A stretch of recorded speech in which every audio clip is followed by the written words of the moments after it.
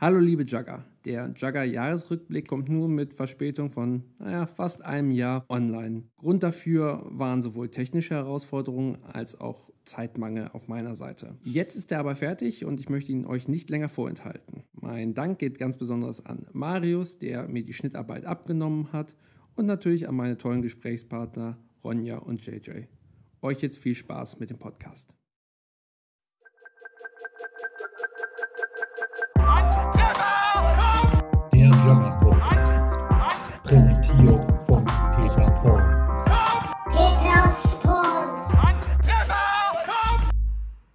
Herzlich willkommen zu Handtrefferkopf, dem Jugger-Podcast. In den nächsten 2x100 Steinen beschäftigen wir uns mit der Jugger-Saison 2021. Dafür habe ich zwei bezaubernde Gäste bei mir. Hallo Ronja, hallo JJ. Hallo. Hi. Bevor wir gleich über das vergangene Juggerjahr reden, stellt euch doch bitte einmal vor. Ronja, woher kennt man dich? Ähm, also ich spiele bei WTF. In der vergangenen Saison habe ich dann aber auch zwei Turniere bei FKK mitgespielt. Ich bin Kettenspielerin, mache das jetzt schon seit fünfeinhalb Jahren und es macht echt Spaß. WTF zur Ergänzung sind die wütenden Tintenfische aus Kiel.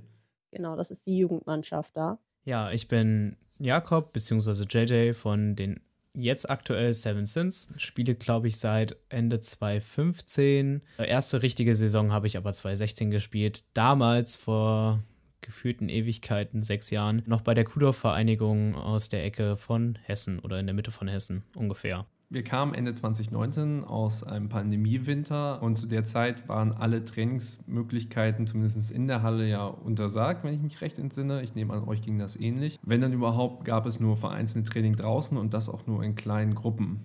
Wie habt ihr euch fit gehalten? Habt ihr zum Beispiel ein Online-Training in Anspruch genommen? Tatsächlich ich gar nicht. Also einerseits von keinem Team, was das öffentlich äh, zur Verfügung gestellt hat, aber auch andererseits gab es bei uns, bei den Teams, wo ich trainiere, keine Möglichkeit dazu. Fit gehalten habe ich mich gar nicht. Ich habe Weihnachten genossen, aber habe versucht immer noch auf meine Ernährung zumindest so ein bisschen zu achten, aber wirklich fit war ich dann zu Beginn der Saison nicht. Mit Ernährung meinst du schön die Turnierernährung beibehalten, Chips und, und äh, Kekse? Nein, möglichst low carb bzw. eiweißreich und ballaststoffreich. Also bei uns gab es auch nicht wirklich ein Online-Training. Wir hatten, glaube ich, so eine Fitness-WhatsApp-Gruppe. Da gab es Menschen, die motivierter daran gegangen sind als ich persönlich. Ich habe da halt nicht so unglaublich viel Fitnesstraining gemacht oder so, aber es gab bei uns im Team schon Leute, die das regelmäßig und ich würde jetzt mal sagen auch vernünftig durchgezogen haben und laufen gegangen sind und Fitnessübungen gemacht sind. Es war schon vertreten, aber es gab jetzt nicht so wirklich ein wir treffen uns alle online und machen irgendwie gemeinsam Sport. Wir hatten ein teaminternes Online-Training. Das ähm, haben wir dann bis zum Frühjahr fortgesetzt und dann ist es so langsam ausgefadet, als es dann die Möglichkeiten gab, wieder mehr vor Ort mit Leuten zu trainieren. Da war einfach, da hat man gemerkt, dass der Bedarf halt schlagartig wieder weggefallen ist. Aber für die Zeit, die es war, fand ich es sehr, sehr angenehm. Zum einen natürlich auch irgendwie ja, die Motivation zu haben, sich selbst mal zu bewegen, zu betätigen, über das, was man gerne machen würde, hinaus und auch mal gezwungen werden, ein bisschen mehr zu machen und gleichzeitig auch einfach das Team wiederzusehen und mit denen was zu machen. Also im Anschluss vom Online-Training gab es dann immer groß Videoabend oder also Streaming äh, oder irgendwelche äh, Online-Spiele und so. Das habe ich in dem Sinne schon sehr genossen. Das wollte ich gerade fragen. Wie habt ihr das denn gestaltet? Also war das hauptsächlich eine Taktikbesprechung oder halt Fitnessübungen? Also du hast ja schon gesagt, dass ihr auch sportlich betätigt habt, aber habt ihr dann auch Taktiken gesprochen oder Situationen am taktischen Spielbrett ausgeknobelt? Also wir haben uns gemeinsam warm gemacht. Wir haben dann äh, immer einen Technikteil gemacht, wobei wir halt dadurch, dass es ein Online-Training ist, kannst du ja bestimmte Sachen halt nicht tun, zum Beispiel Dinge, die Gegner involvieren. Das heißt, wir haben viel an unseren Haltungen gearbeitet, an der Stabilität, äh, haben so die, die Methodik der Angriffe quasi trainiert. Klar, du kannst keine Angriffsfolgen üben, wenn du keinen Widerstand hast und so. Aber einfach so, dass die, dass die Körpermechanik stimmt. Das hat uns auch mehr oder weniger, weil wir es sehr kleinteilig gemacht haben, den ganzen Winter beschäftigt. Und ein Ergebnis davon ist ja auch der Königsweg, wo wir dann die Beinarbeit vorstellen. Das ist quasi ein direktes Produkt aus dem Online-Training. Sehr gut. Habe ich äh, den Podcast gehört und das Video gesehen. Hat mir gut gefallen. das freut mich, aber das haben wir ja dann, boah, ich glaube im Februar, im März gedreht. Da waren wir dann ja, nur zu dritt, weil es auch ja, schwierig anders ging. Und es war schon also der Dreh war insofern anstrengend, dass man natürlich einfach kein Personal über hat. Wir haben jetzt ja vor kurzem eine neue Episode Königsweg gedreht und da haben wir mit luxuriösen sechs Leuten gedreht. Dann konnte man mal Rollen verteilen und Aufgaben und so. Ähm, das war da nicht mehr äh, möglich. Von daher äh, bin ich mit dem Produkt schon ganz zufrieden. Und allerdings haben sich auch relativ viele Flüchtigkeitsfehler oder Fehler, die man von außen hätte korrigieren müssen. Aber es gab niemanden, der außen war, weil Nikolai war hinter der Kamera, der war mit seiner Technik beschäftigt. Und wenn Sibi und ich dann Haltungsfehler oder so gemacht haben, dann sind die leider jetzt in dem Video drin.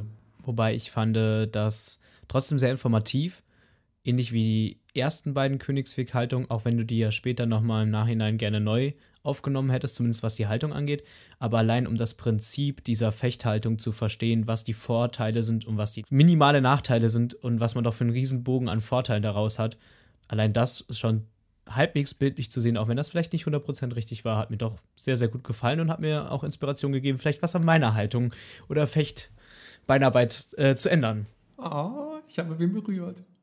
Ja, also das, äh, die, die ganze Sache Fechthaltung ist in den letzten zwei Monaten oder so, das ist recht groß geworden im Training. Beim Aufwärmen und so haben wir dann halt auch ab und zu mal so, wie stelle ich mich vernünftig hin, wie stelle ich die Füße hin, wie wie genau knicke ich dann ab und so, also wie mache ich das Ganze und wie benutze ich es effizient. Das ist dann schon im Training ein bisschen größer geworden. Und ich habe jetzt auch bei mir persönlich gemerkt, dass das teilweise auch was bringt, aber manchmal ist es auch im Kettenspiel nicht ganz so sinnvoll. Also es gibt immer Momente, wo man es gut einsetzen kann und dann gibt es Momente, wo man, wenn man die Fechthaltung benutzt, das eigentlich einem, einem nicht so viel bringt. Aber man ist beim, beim Kettenspielen auch allgemein in einer etwas abgeänderten Fechthaltung, würde ich mal sagen. Da bin ich nicht das beste Beispiel, weil ich halt nicht prompfe. Und ich glaube, da ist das schon deutlich effektiver einsetzbar. Ja, also wir behandeln das Kettenspiel ja in den Videos auch relativ stiefmütterlich, weil es sich eben nicht so klar übertragen lässt wie in, im, im Pompfenduell. Also Pompfe gegen Pompfe, am besten noch gleiche Reichweite, also Q-Tip gegen Langpompfe oder Stab gegen Stab, so. Das, das ist sauber. und dann kommt so eine Kette oder so ein Schild und das ganze Konzept, alles ist durcheinander. Damit muss man leider leben, aber das macht das Jugger natürlich auch so interessant. Ich habe dann zwischendurch auch noch bei anderen Online-Trainings reingeschaut. Also Münster hat eins gemacht, da war ich ab und an äh, ein paar Mal, zweimal oder so dabei. Die Leute um die Slot-Maschinen drumherum, also auch noch so ein paar Stuttgarter, ein paar Laufender, haben auch immer ein Online-Training gemacht. Da haben Sebi und ich dann Gast referiert. Da hat man nochmal ja auch noch so eine andere Perspektive, weil die natürlich, ein, also wenn, wenn wir bei den Pawns Training geben, das haben auch Sebi und ich hau hauptsächlich gemacht, dann haben wir ja, dann kennen wir das Team ja und wissen genau, wo die Leute die Problemstellen haben. Und da war es jetzt natürlich eine unbekannte Gruppe und dementsprechend ja, hatte man nochmal eine andere Sicht auf die Dinge. Das war auch ganz, ganz lehrreich. Zungenkinder hatten noch ein Training, das haben die, glaube ich, auch mal online gestellt oder so. Ich habe da auf jeden Fall was von gesehen. Und halt das öffentliche Training von Bonn, da habe ich auch mal reingeschaut. Das hat sich aber irgendwie mit einem anderen Termin gedoppelt und dann konnte ich da nicht mehr mitmachen. Ähm, aber ich habe da mal überall so ein bisschen reingeschnuppert und geguckt, was geht. Und gerade diese Reduktion zu haben, okay, jetzt kann ich mich im Winter wirklich nur mit, mit mir selbst beschäftigen, mit meiner Beinarbeit und so, war dann etwas, was ich im, in der Saison irgendwie schon gemerkt habe, okay, jetzt hat man so ein bisschen mehr Fokus darauf und kann das so ein bisschen leichter umsetzen, weil sonst, wenn du halt in der Saison Training gibst, so, dann hast du Neulinge, denen willst du was beibringen, dann hast du irgendwie bestimmte Sachen mit deinem Team, die du trainieren willst, irgendwelche Baustellen, aber du kommst irgendwie gar nicht zu dir. Und das finde ich, äh, ich hätte auch ohne Pandemie Winter gekonnt, aber ähm, ist doch ist ganz gut was draufgekommen, rausgekommen. Jetzt lass uns aber ernsthaft in, das, in die Saison 2021 einsteigen. Und das Erste, was ich mir notiert habe, ist, dass ein Podcast, ein, ein Jagger-Urgestein zurückgekehrt ist mit Pompfen und Trompeten. Seid ihr damit vertraut? Matteo ist das, oder? Von ähm, Lokomotive Black Ninja, wenn ich richtig informiert bin. Aber ich bin tatsächlich nicht vertraut. Ich habe das nur beilaufend mitbekommen. Ja, nee, also Pompfen und Trompeten, das habe ich schon mal gehört. Aber ich habe mich damit ehrlich gesagt noch nicht so viel beschäftigt. Ich bin jetzt hier, eigentlich bin ich in diese ganze Jugger-Podcast-Welt erst reingerutscht, als du warst so, hey, willst du beim Podcast mitmachen? Ich war mal so, ich sollte mir wenigstens eine Folge mal angehört haben.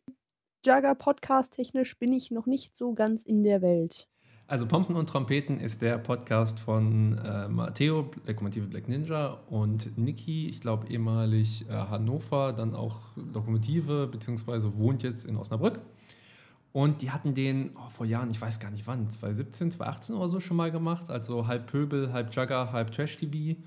Äh, Podcast, also relativ äh, frei und äh, auf Unterhaltung getrimmt. Haben sie dann irgendwann aber auch eingestellt. Ich glaube, Ursache war, dass sie irgendwie mit Ippo eine Aufnahme machen wollten, das irgendwie zweimal nicht geklappt hat. Und dann, also sie hatten die Aufnahme und dann ist sie verloren gegangen oder irgendwer hat seine Spur nicht aufgenommen oder so. Und dann ist es da irgendwie stecken geblieben. Und den haben sie jetzt, ähm, ja, ich denke auch pandemiebedingt wieder, wieder aufgenommen und reden über Jugger, während es kein Jugger gibt und sind dann natürlich aber im Laufe der Saison auch wieder zum, zum, zu Turnieren gefahren und konnten das dann auch mitnehmen. Und ich finde diese Mischung ganz angenehm. Also äh, ehrlich gesagt, manchmal, wenn es dann um irgendwelche Trash-TV-Formate geht, muss ich dann auch skippen. Aber gerade Matteo ist natürlich einfach ein großartiger Erzähler und ähm, wenn man, wenn man die, die Fremdscham über die äh, Peinlichkeiten, von denen sie erzählen, aushält, dann finde ich, ist es ein sehr unterhaltsamer Podcast. Genau, der lief das ganze Jahr über und ich glaube, jetzt haben sie eine kleine Winterpause angekündigt, wenn ich das richtig im Kopf habe. Und dann werden wir mal schauen, ob das nächstes, nächste Saison weitergeht. Ich freue mich immer über jedes Medienangebot, was wir im Jagger haben.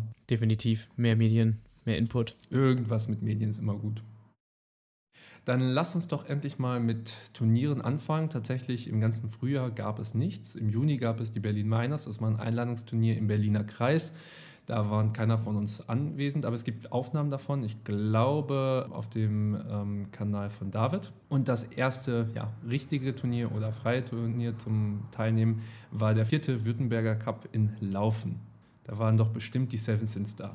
Ja, die Seven Sins waren da. Ich bin mir nicht hundertprozentig sicher, aber bisher haben wir den vierten Württemberger Cup in Laufen meines Wissens nach bis jetzt immer gewonnen. Beziehungsweise also nicht den vierten Württemberger Cup, sondern Württemberger Cup bis jetzt immer gewonnen. So auch dieses Jahr. Nicht äh, ganz ungestraft von Sebi, der uns diesmal unterstützt hat, und Julian von Rigor, ähm, da hauptsächlich als Kettenspieler.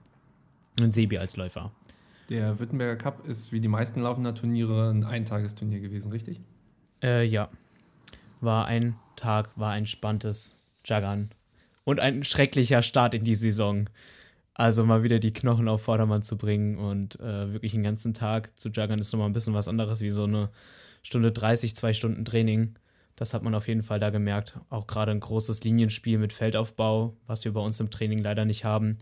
Das war auch nochmal was komplett anderes. Wie schlimm war es nach dem Turnier? Äh, dank Magnesium erträglich, Heimfahrt schrecklich. Dann das nächste Turnier, was anstand, war tatsächlich schon das siebte Südwest-Regionalturnier in Homburg. Ich war nicht da, aber ich nehme an, dass aus, aus der Südsphäre hast du das auch mitgenommen, JJ? Ja, ich habe das auch mitgenommen. Da habe ich gespielt bei NRG und das war ein echt richtig, richtig witziges Turnier, weil man Steine wieder gespielt hat, äh, anstatt Sätze. Und das wurde auch von der Orga, ich will nicht sagen durchgeprügelt, aber das beschreibt die Situation, glaube ich, ganz gut. Es wurde auf jeden Fall stark umgesetzt, dass äh, Steine gespielt werden und keine Sätze. Auch das elektronische Trommeln verboten waren, war auch so ein Punkt, was auch irgendwie ganz äh, interessant war, weil gerade die Steine, wenn es keine elektronischen Trommeln gibt, bei zwei bis vier Trommeln, die auf einem großen Spielfeld gleichzeitig laufen, ist das schon sehr witzig, anstrengend und größtenteils verwirrend für Leute, die Steine zählen. Also ich glaube, wenn ich die Chance gehabt hätte, da hinzufahren, hätte ich das trotz Steine spielen gemacht. Und da hatte ich echt, ich sage mal, Jugger in Zug. Da wollte ich spielen und auf Turniere, aber Homburg hatte ich da nicht wirklich mitbekommen oder eine Chance gehabt, da so wirklich mitzuspielen. Aber ich glaube, ich hätte mir die Steine auch so angetan. Homburg ist trotz allem, dass äh, Steine gespielt werden und es Trommeln gibt, eigentlich trotz allem sehr gut organisiert. Also gerade mit Corona-Test-Nachweis beziehungsweise wie das ablief, mit Impfausweis vorzeigen, sonst kommst du nicht in den Checkbereich und so, war das schon sehr gut organisiert und auch der Platz und so war alles richtig gut. Auch diesmal der Pomfencheck hatte gar keine Probleme bei uns gemacht. Ähm, also war eigentlich, was die Organisation angeht, schon sehr, sehr gut ausgeführt. War das ein offener oder geschlossener Pomfencheck? Ähm, es war ein geschlossener Pomfencheck. Also du hattest die Pompe abgegeben, äh, einen Sticker bekommen, wenn durch, oder halt ein kleines Zettelchen dran, äh, was an der Pompe nicht in Ordnung war. Ja, ich bin eigentlich überrascht, weil alle Turniere, die ich diese Saison gespielt habe, wurden mit einem äh, offenen Pomfencheck gemacht. Das heißt, während die Leute geprüft haben, konntest du schon auf die Leute einreden und nicht erst hinterher, wenn quasi das Urteil schon feststand. Und das ist einfach aus meiner Erfahrung extrem stressig für die Leute, die die Pompen checken. Das ist eigentlich ganz gut, wenn du die Ruhe hast, du machst einen Check, kommst mit der Pompe raus, machst einen Zettel dran und redest dann halt darüber, was damit ist. Ja, so war es eigentlich auf dem Turnier auch. Du hast die Pompe abgegeben, dann hast du deinen 3G-Nachweis, müsste es damals noch, oder zu dem Zeitpunkt gewesen sein, ja, gemacht. Die haben das dann kontrolliert und in der Zeit wurden die Pompen gecheckt. Wenn du aber deinen Sticker bekommen hast, war zum Beispiel, keine Ahnung, Stechspitze, Knauf, was auch immer, nicht in Ordnung, dann hattest du nochmal die Möglichkeit nachzufragen und dann zu diskutieren. So wie man es eigentlich mittlerweile, finde ich, größtenteils, zumindest ich kenne. Gab, glaube ich, auch große Diskussionen, was ähm, abgeklebte Kernst äh, Kernrohre anging, weil ja Epoxidharz nicht als Splitterschutz gilt. Anscheinend. So, dann lasst uns doch mal den äh, sonnigen August betreten. Und da fand, ich denke, eins der, der wichtigsten Turniere statt, nämlich die Thüringer Meisterschaft. Die war im Vorfeld ja heiß diskutiert, weil die ähm, Zonenkinder es sich erdreistet hatten, eine Genderregelung einzuführen, nach der mindestens zwei Spielende pro Spielzug nicht männlichen Geschlechts sein sollten. Das wurde dann geändert, glaube ich, auf eine Person auf dem Feld und mindestens zwei im Team. Ja. Genau. Und es wurde dann später noch geändert von nicht männlich in zu ein anderes Geschlecht oder sich als anderes Geschlecht fühlend von dem Rest des Teams. Also du hättest auch nicht mit einem reinen Frauenteam spielen können. Das wurde später auch nochmal angepasst, glaube ich. Ähm, ging heiß her im Forum seit langem mal wieder. Ähm, wir hatten, das muss ja die Regelwahl 2019, 2020 gewesen sein, wo dann die ähm, gendergerechte Sprache im Regel, Regelwerk festgelegt wurde. Ähm, da kamen ja auch schon so ein paar Ansätze von Leuten durch, die der Meinung waren, nee, also jetzt habt euch mal alle nicht so, ist schon, ist schon okay, dass es hier männerdominiert ist und so. Bei der Genderquote ist es dann nochmal deutlich geworden, dass es keine, keine offene Aversion gegen Frauen und diverse Geschlechter gibt, aber dass halt von den privilegierten Männern einfach nicht erkannt wird, dass es halt eben nicht ein freies Feld ist, wo sich jeder beliebig durchsetzen kann, sondern dass ja, insbesondere Frauen natürlich auch einfach ein, quasi immer gegen den Wind kämpfen, wenn es dann um Positionierung oder Spielbeteiligung nehmen. Aber Ronja, du kannst das natürlich aus erster Hand berichten. also ich schüttel schon den Kopf. Es ist bei mir jetzt auch ein bisschen anders, weil ich halt im Jugendteam angefangen habe zu spielen. Und wir halt, als wir angefangen haben, das war jetzt 2015, da war ich 13 oder so. Und dann kennt man sich einfach als Gruppe jetzt schon ewig. Man weiß, wie die anderen spielen und ich weiß nicht, es kann auch ein bisschen was damit zu tun haben, dass ich Kette spiele, dass ich mich da dann halt nicht so viel bei den anderen durchsetzen muss, weil das halt eine Position ist, wo man diese Feldkontrolle und dieses Ich bin hier und teilweise braucht man auf dem Feld auch ein großes Ego, um diesen Raum zu füllen, sage ich jetzt mal. Kettenspieler sagen ja gern, der Ball dreht sich halt nur um uns. So. das ist eine großartige Formulierung. Man möchte die zum ersten Mal.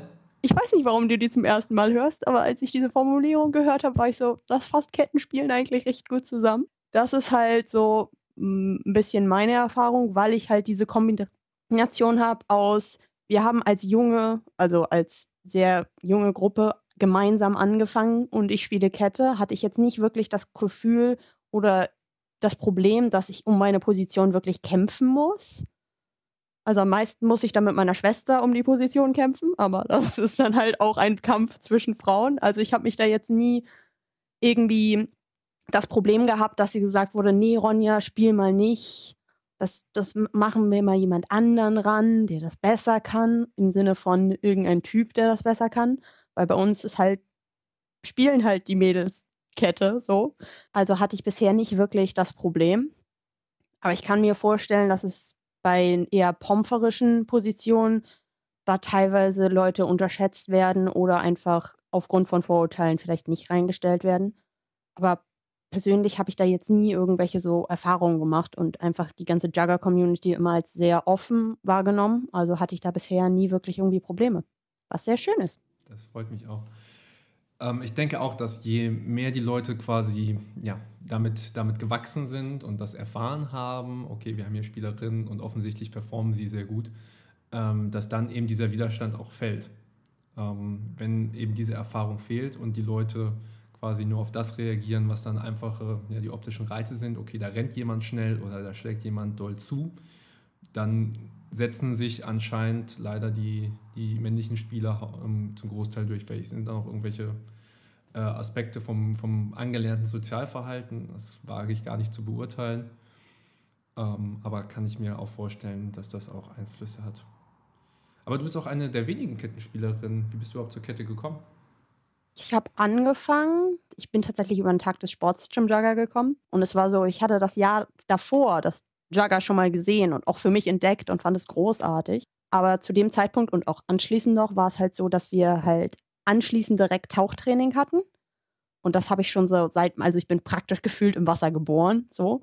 Das heißt, das war zu dem Zeitpunkt einfach wichtiger für mich als irgend so ein neuer Sport. Und meine Eltern haben mich halt auch überzeugt, dass es vielleicht sinnvoll ist, nicht direkt zwei Sportarten direkt hintereinander zu machen, so. Aber als wir dann im nächsten Jahr, 2016, dann wieder auf dem Tag des Sports waren und wieder irgendwie, keine Ahnung, vier Stunden beim Jugger hingen, war, haben wir es dann geschafft, unsere Eltern zu überzeugen, dass wir Jugger spielen können. Das heißt, meine kleine Schwester und ich sind dann halt zum Jugger-Training und haben beide, glaube ich, mit Q-Tip angefangen tatsächlich. Und dann haben wir auch eigentlich ein Dreivierteljahr oder so Q-Tip gespielt. Und dann sind wir raus wieder aus der Halle. Das war dann halt, ich würde sagen jetzt mal März, sind wir halt auf die Wiese raus und da hat man halt auch mehr Platz. Und wir, Lucy und ich haben beide durch das Kettenspielen während der Zeit schon mal so angeschaut gehabt, vielleicht auch ein bisschen angehimmelt und fanden das beide sehr, sehr cool. Zu dem Zeitpunkt hatte unser Team auch noch einen anderen Kettenspieler. Der spielt jetzt auch schon seit ein paar Jahren nicht mehr. Aber da war halt sozusagen diese Position schon ein bisschen gefüllt. Und wir hatten während der Halle schon mal unseren Trainer angesprochen und das war halt, ist halt Daniel und ist mittlerweile auch immer noch Daniel. Und der war halt so, okay, erstens lernt erstmal ein bisschen Jugger und es war halt drin in der Halle, wo man auch nicht so viel Platz hat, was das Kettenspielen dann auch eher ein bisschen einschränkt, würde ich sagen, weil also sind wir halt raus auf die Wiese und hatten da viel Platz und man konnte es auch machen, dass die einen irgendwie gepompft haben gegeneinander und man dann sozusagen, das haben wir früher ganz oft gemacht, dass das dann sozusagen eine Person mit den Trainern an den Rand gegangen ist und irgendwas geübt hat und dann war ich so, okay, ich möchte jetzt Kette spielen. Das ist cool. Bring mir das bitte bei. Und ich muss sagen, der Anfang war schwer, aber vieler Anfang ist schwer. Aber es hat einfach Spaß gemacht. Es war diese, es war diese, diese Kontrolle und es war dieses, man hatte einfach das Gefühl, dass man stark ist und ein bisschen unbesiegbar teilweise. Und das ist halt etwas, was total toll ist. Und man an vielen anderen Orten einfach nicht wirklich hat, würde ich mal sagen. Also es gibt immer Einschränkungen diese, klar, beim Kettenspielen gibt es auch, ein, aber es gibt einfach dieses, man fühlt sich einfach stark und es ist sehr schön einfach. So, und dann ging halt dieses ganze, wir upgraden unsere Kette los. Was für Ketten hast du da gespielt?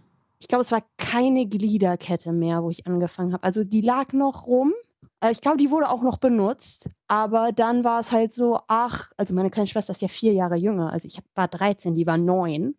Da waren die auch so, okay, ja gut, wir geben dem Kind nicht die Gliederkette. Da hat, haben wir dann halt immer von Daniel so die, die Kette geklaut, so erst Trainer und wir, wir, wir schnorren mal die Kette, so wenn er am Rand steht und irgendwie Tipps gibt oder so, hatten wir dann diese fancy neue Gurtbandkette, die nicht so schwer war, weil wir sind ja die kleinen Mädels. Da können wir ja nicht mit der Gliederkette ankommen. So. Ähm, das ging halt nur, wenn er nicht gespielt hat. Das heißt, wenn er dann halt mitspielen wollte, dann mussten wir halt zurück zur Gliederkette. Aber das waren dann auch nur so, ich glaube, so drei Monate oder so, bis wir uns dann unsere eigene Kette gebaut haben, wenn nicht weniger. Und zu dem Zeitpunkt war, wie gesagt, noch Timo dabei. Das heißt, es gab da noch diese Konkurrenz von wegen, er spielt eher. Und irgendwann hat er dann aus familiären Gründen und ich glaube auch irgendwas mit, ihm ging es halt auch gesundheitstechnisch nicht so gut, hat er dann aufgehört. Und ja, das klingt jetzt vielleicht gemein, aber das war dann gut für uns, weil dann Lucy und ich halt die einzigen Ketten im Team waren und halt nicht mehr diese Konkurrenz hatten. Aber ja, also so fingen wir dann an mit Kette spielen und wir haben halt nicht mehr aufgehört. Und jetzt sind wir jetzt Kettenspieler. Und irgendwann war das so, okay, ja, cute, egal. Und der fiel dann immer weiter weg. Und mittlerweile ist es so, wenn ich jetzt einen Q-Tip in die Hand nehme, bin ich so, boah, ich kann Hand sagen und Pin. Was ist diese Welt? Eine ganz andere Jugger-Welt. So, aber ja, jetzt sind Lucy und ich halt die Kettenspieler. Und es macht halt Spaß. Warst du denn auf der Thüringer Meisterschaft in Jena? Ja, ich war dabei. Aber ich habe bei FKK gespielt gehabt, weil WTF nicht hin ist. Und ja, das war halt, diese ganze Sache mit der Genderquote, würde ich sagen, war im Grunde eigentlich eine ganz, okay, es war keine schlechte Idee und so, aber teilweise war es auch für mich in der Umsetzung scheiße, weil es so war, also ich glaube, das andere Mädel bei uns im Team war Jamie. Und manchmal war es einfach so, Jamie und ich haben gleichzeitig gespielt, weil es wegen der Taktik und so einfach sinnvoll war, weil Jamie ist mittlerweile ein sehr, sehr guter Kettenblock. Also die darf man nicht mehr unterschätzen. Das von, also die hat, glaube ich, irgendwie den Corona-Winter damit verbracht, Kettenblock zu üben. Wie auch immer sie das alleine geschafft hat. Da empfehle ich das Spiel äh, FKK gegen Rigor aus Laufen. Das ist das. Das, das habe ich auch schon gehört. Also Jamie, krasser so Kettenblock. Gut. Das heißt, und dann war ich in der Kette und Jamie war Kettenblock und dann haben wir halt gleichzeitig gespielt und dann war so, okay, wir brauchen eine Pause. Geht nicht mehr, wir müssen mal zu Atem kommen und dann war es so, ja, nee, sorry, einer von euch muss spielen, wir brauchen eine Frau auf dem Feld. Also in der Umsetzung war es dann für mich teilweise echt doof, weil es war so, Leute, ich kann nicht mehr. Und es war so, hey Ronja, du musst spielen. Also hat es ein bisschen einen gegenteiligen Effekt von dem, was eigentlich geplant war, vielleicht. So. Also es war dann eher so, ich wurde dazu gezwungen zu spielen. Nicht, dass ich mich da jemals wirklich beschweren würde, weil Jagger ist cool und ich spiele gern. Aber teilweise war es dann echt so, wir hatten ein anstrengendes Spiel und dann brauchte man, brauchte man eigentlich eine Pause und dann haben wir beide uns da immer durchgekämpft, während der Rest halt mehr Pause machen musste. So. Also das war tatsächlich mein erstes Turnier mit FKK wo ich halt nicht bei WTF gespielt habe. Das liegt teilweise daran, dass ähm, ich glaube, das erste Mal, wo sie es mir angeboten hatten, war ich 16. Aber das war irgendwie so, hey, willst du mit nach Wien?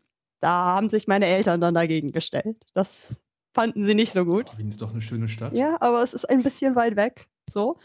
Und dann kam das in dem Jahr auch nicht mehr wirklich auf und dann kam Corona. Und dann war nichts mehr an Turnieren so. Dann also ich glaube, das Jahr davor waren dann irgendwie so ein Turnier, wo FKK dabei war oder so. Ich will mich jetzt hier nicht aus dem Fenster lehnen und irgendwas Falsches erzählen, aber so, es, es war halt eigentlich nichts los. So. Und dann war dieses Jahr, ich war 18 geworden, ich hatte gerade mein Nabi gemacht, ich hatte nicht viel so andere Dinge zu tun, als außer aufs Studium warten. Und ich war so, okay, ich fahre jetzt auf Turniere. Und ja, also mittlerweile ist es auch so, das Training ist wir Jugendlichen schwappen alle langsam ins Erwachsenentraining über. Wir benutzen dann sozusagen beide Trainingszeiten. Also die kennen mich alle und ich spiele mit denen allen schon seit Jahren so beim Training zusammen und so. Und das war dann so, hey, wer will mitkommen aufs Turnier? Und ich bin halt auch in der Gruppe drin, war so, ja, ich würde gerne mitkommen. Und wurde nie irgendwie angezweifelt oder gefragt oder so. Also ich bin schon irgendwie Teil des Teams. Es ist ein bisschen, die Grenzen, würde ich mal sagen, verschwimmen, außer man hat beide Teams angemeldet, dann gibt es eiserne Fronten. Dann muss nämlich bewiesen werden, wer das stärkere Kieler Team ist. So. Die, New, die, die Jugendlichen oder die Erwachsenen. Ähm, aber ja, dann bin ich halt mit FKK nach Jena gefahren und ich kann jetzt sagen, dass ich glaube, ich dann halt ein bisschen weniger gespielt hätte. Für WTF würde ich jetzt sagen, also wenn ich eine Pause hätte gebraucht, gebraucht hätte, dann wäre halt, hätte halt Lucy gespielt oder Lucy hätte gespielt, wenn, auch wenn ich keine Pause gebraucht hätte, weil sie halt auch spielen soll. So. Also ich hätte allgemein weniger Spielzeit gehabt, wenn es diese Regel nicht gegeben hätte. Aber ich hätte trotzdem, ich glaube, im Durchschnitt ein bisschen mehr Spielzeit gehabt als so der normale Pomper, würde ich mal sagen. Einfach weil, naja, also bei WTF gibt es halt mich und Lucy an der Kette. Und es muss halt, eigentlich muss immer eine Kette auf dem Feld stehen, einfach für die ganze Taktik und so. Also wir haben auch teilweise schon nur äh, ohne Ketten gespielt. Wenn wir irgendwie in so einem Team begegnet sind, was halt irgendwie aus vier Schildspielern bestand. Da macht man das auch mal ein, zwei Runden ohne Kette. Aber allgemein ist es so, ich habe das Gefühl, dass ich schon mehr Spielzeit kriege. Einfach weil ich Kette spiele. Und in Jena ist das dann ein bisschen übergeschwappt und dann habe ich keine Pausen mehr so gefühlt gekriegt. Also klar, ich hatte noch Pausen, aber manchmal war es echt so, ich brauche eine Pause. Und es ging dann halt nicht. Also diese Genderquote hat schon das erreicht, was sie wollte, dass die Frauen mehr Spielzeit kriegen. Bloß in meinem Fall war es halt nicht, nicht erwünscht. Also ich hatte schon genug Spielzeit. So. Also ich kann mir aber vorstellen, dass das bei anderen anders war. Also das Ziel hat es schon erreicht, nur in meinem Fall war es halt nicht unbedingt super positiv. So. Bei uns im Team, da lacht JJ jetzt natürlich drüber, es ist ja so, dass wir zurzeit oder zu dem Zeitpunkt gar keine ähm, Frau im regulären Kader hatten. Das heißt, wir brauchten Söldnerinnen.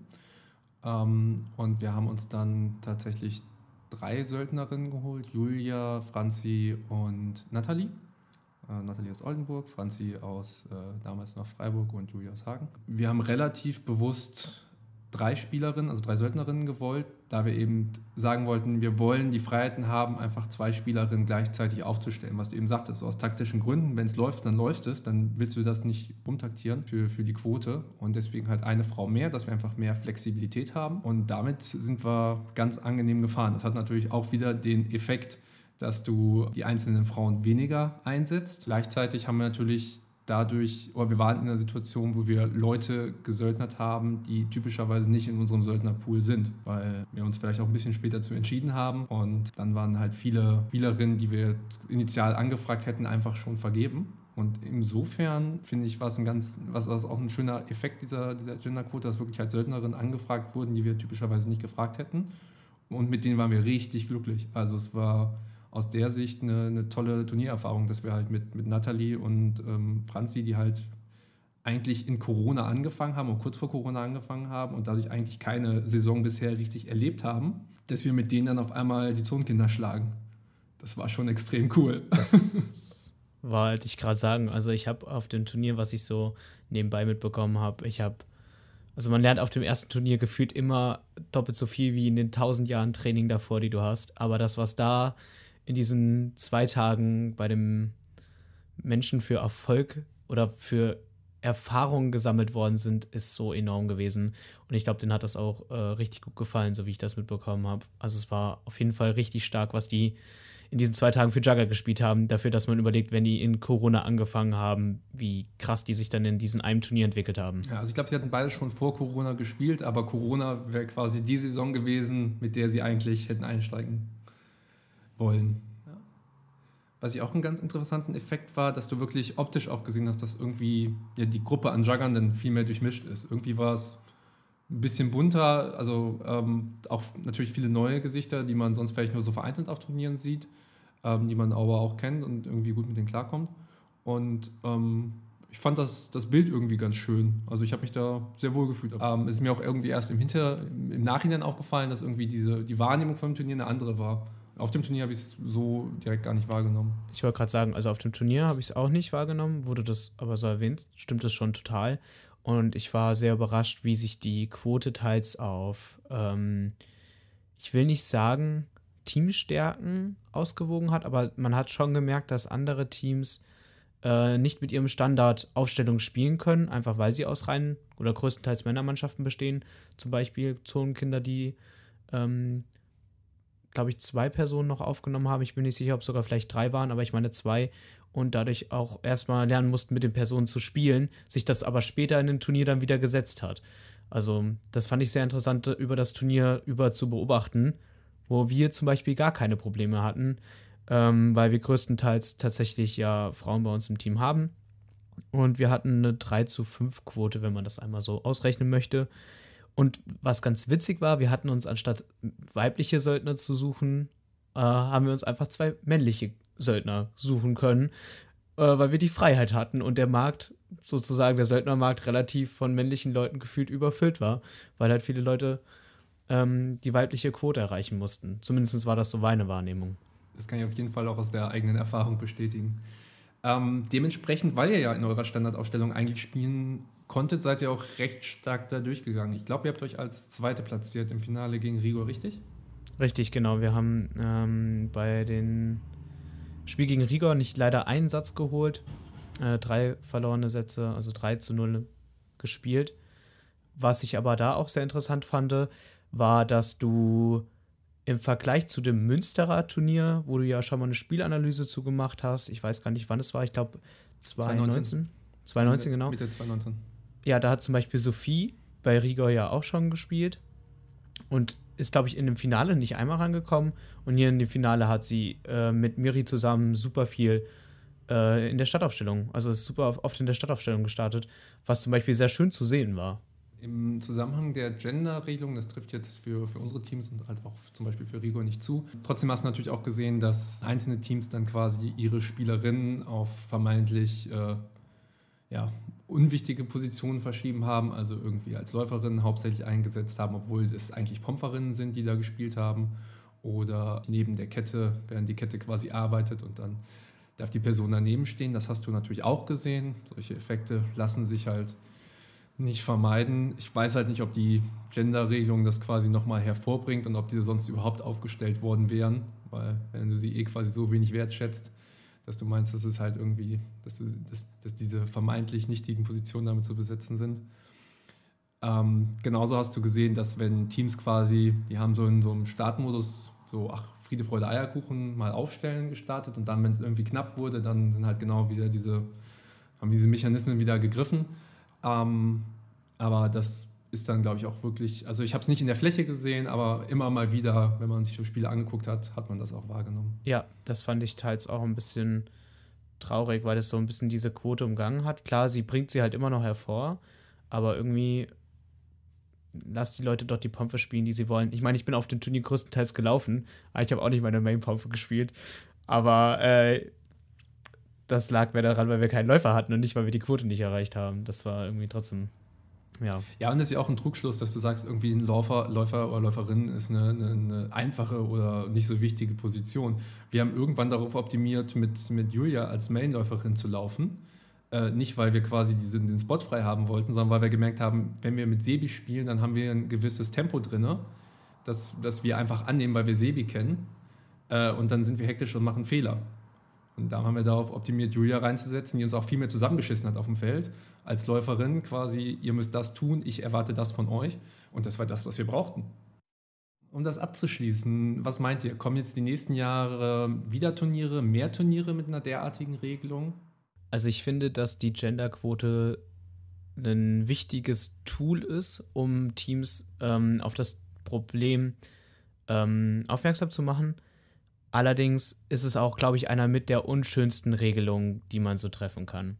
Also es ist schade, dass es eine Quote braucht, um sozusagen die Aufmerksamkeit der Teams auf dieses Problem hinzuweisen. Ich finde, ich wüsste nicht, wie man es besser machen sollte oder eine einfachere Lösung finden kann, aber ich finde es schade, dass es so eine Quote geben muss.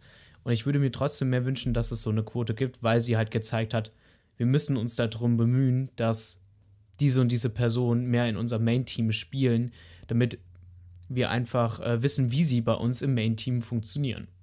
Ja, also ich kann mir vorstellen, dass es noch mehr Turniere mit einer Genderquote gibt. Also es ist natürlich keine Langzeitlösung, aber ich kann mir vorstellen, dass es einfach als ein Mittel zum Zweck benutzt wird. Das ist einfach dieses Spiele, wenn du gut bist.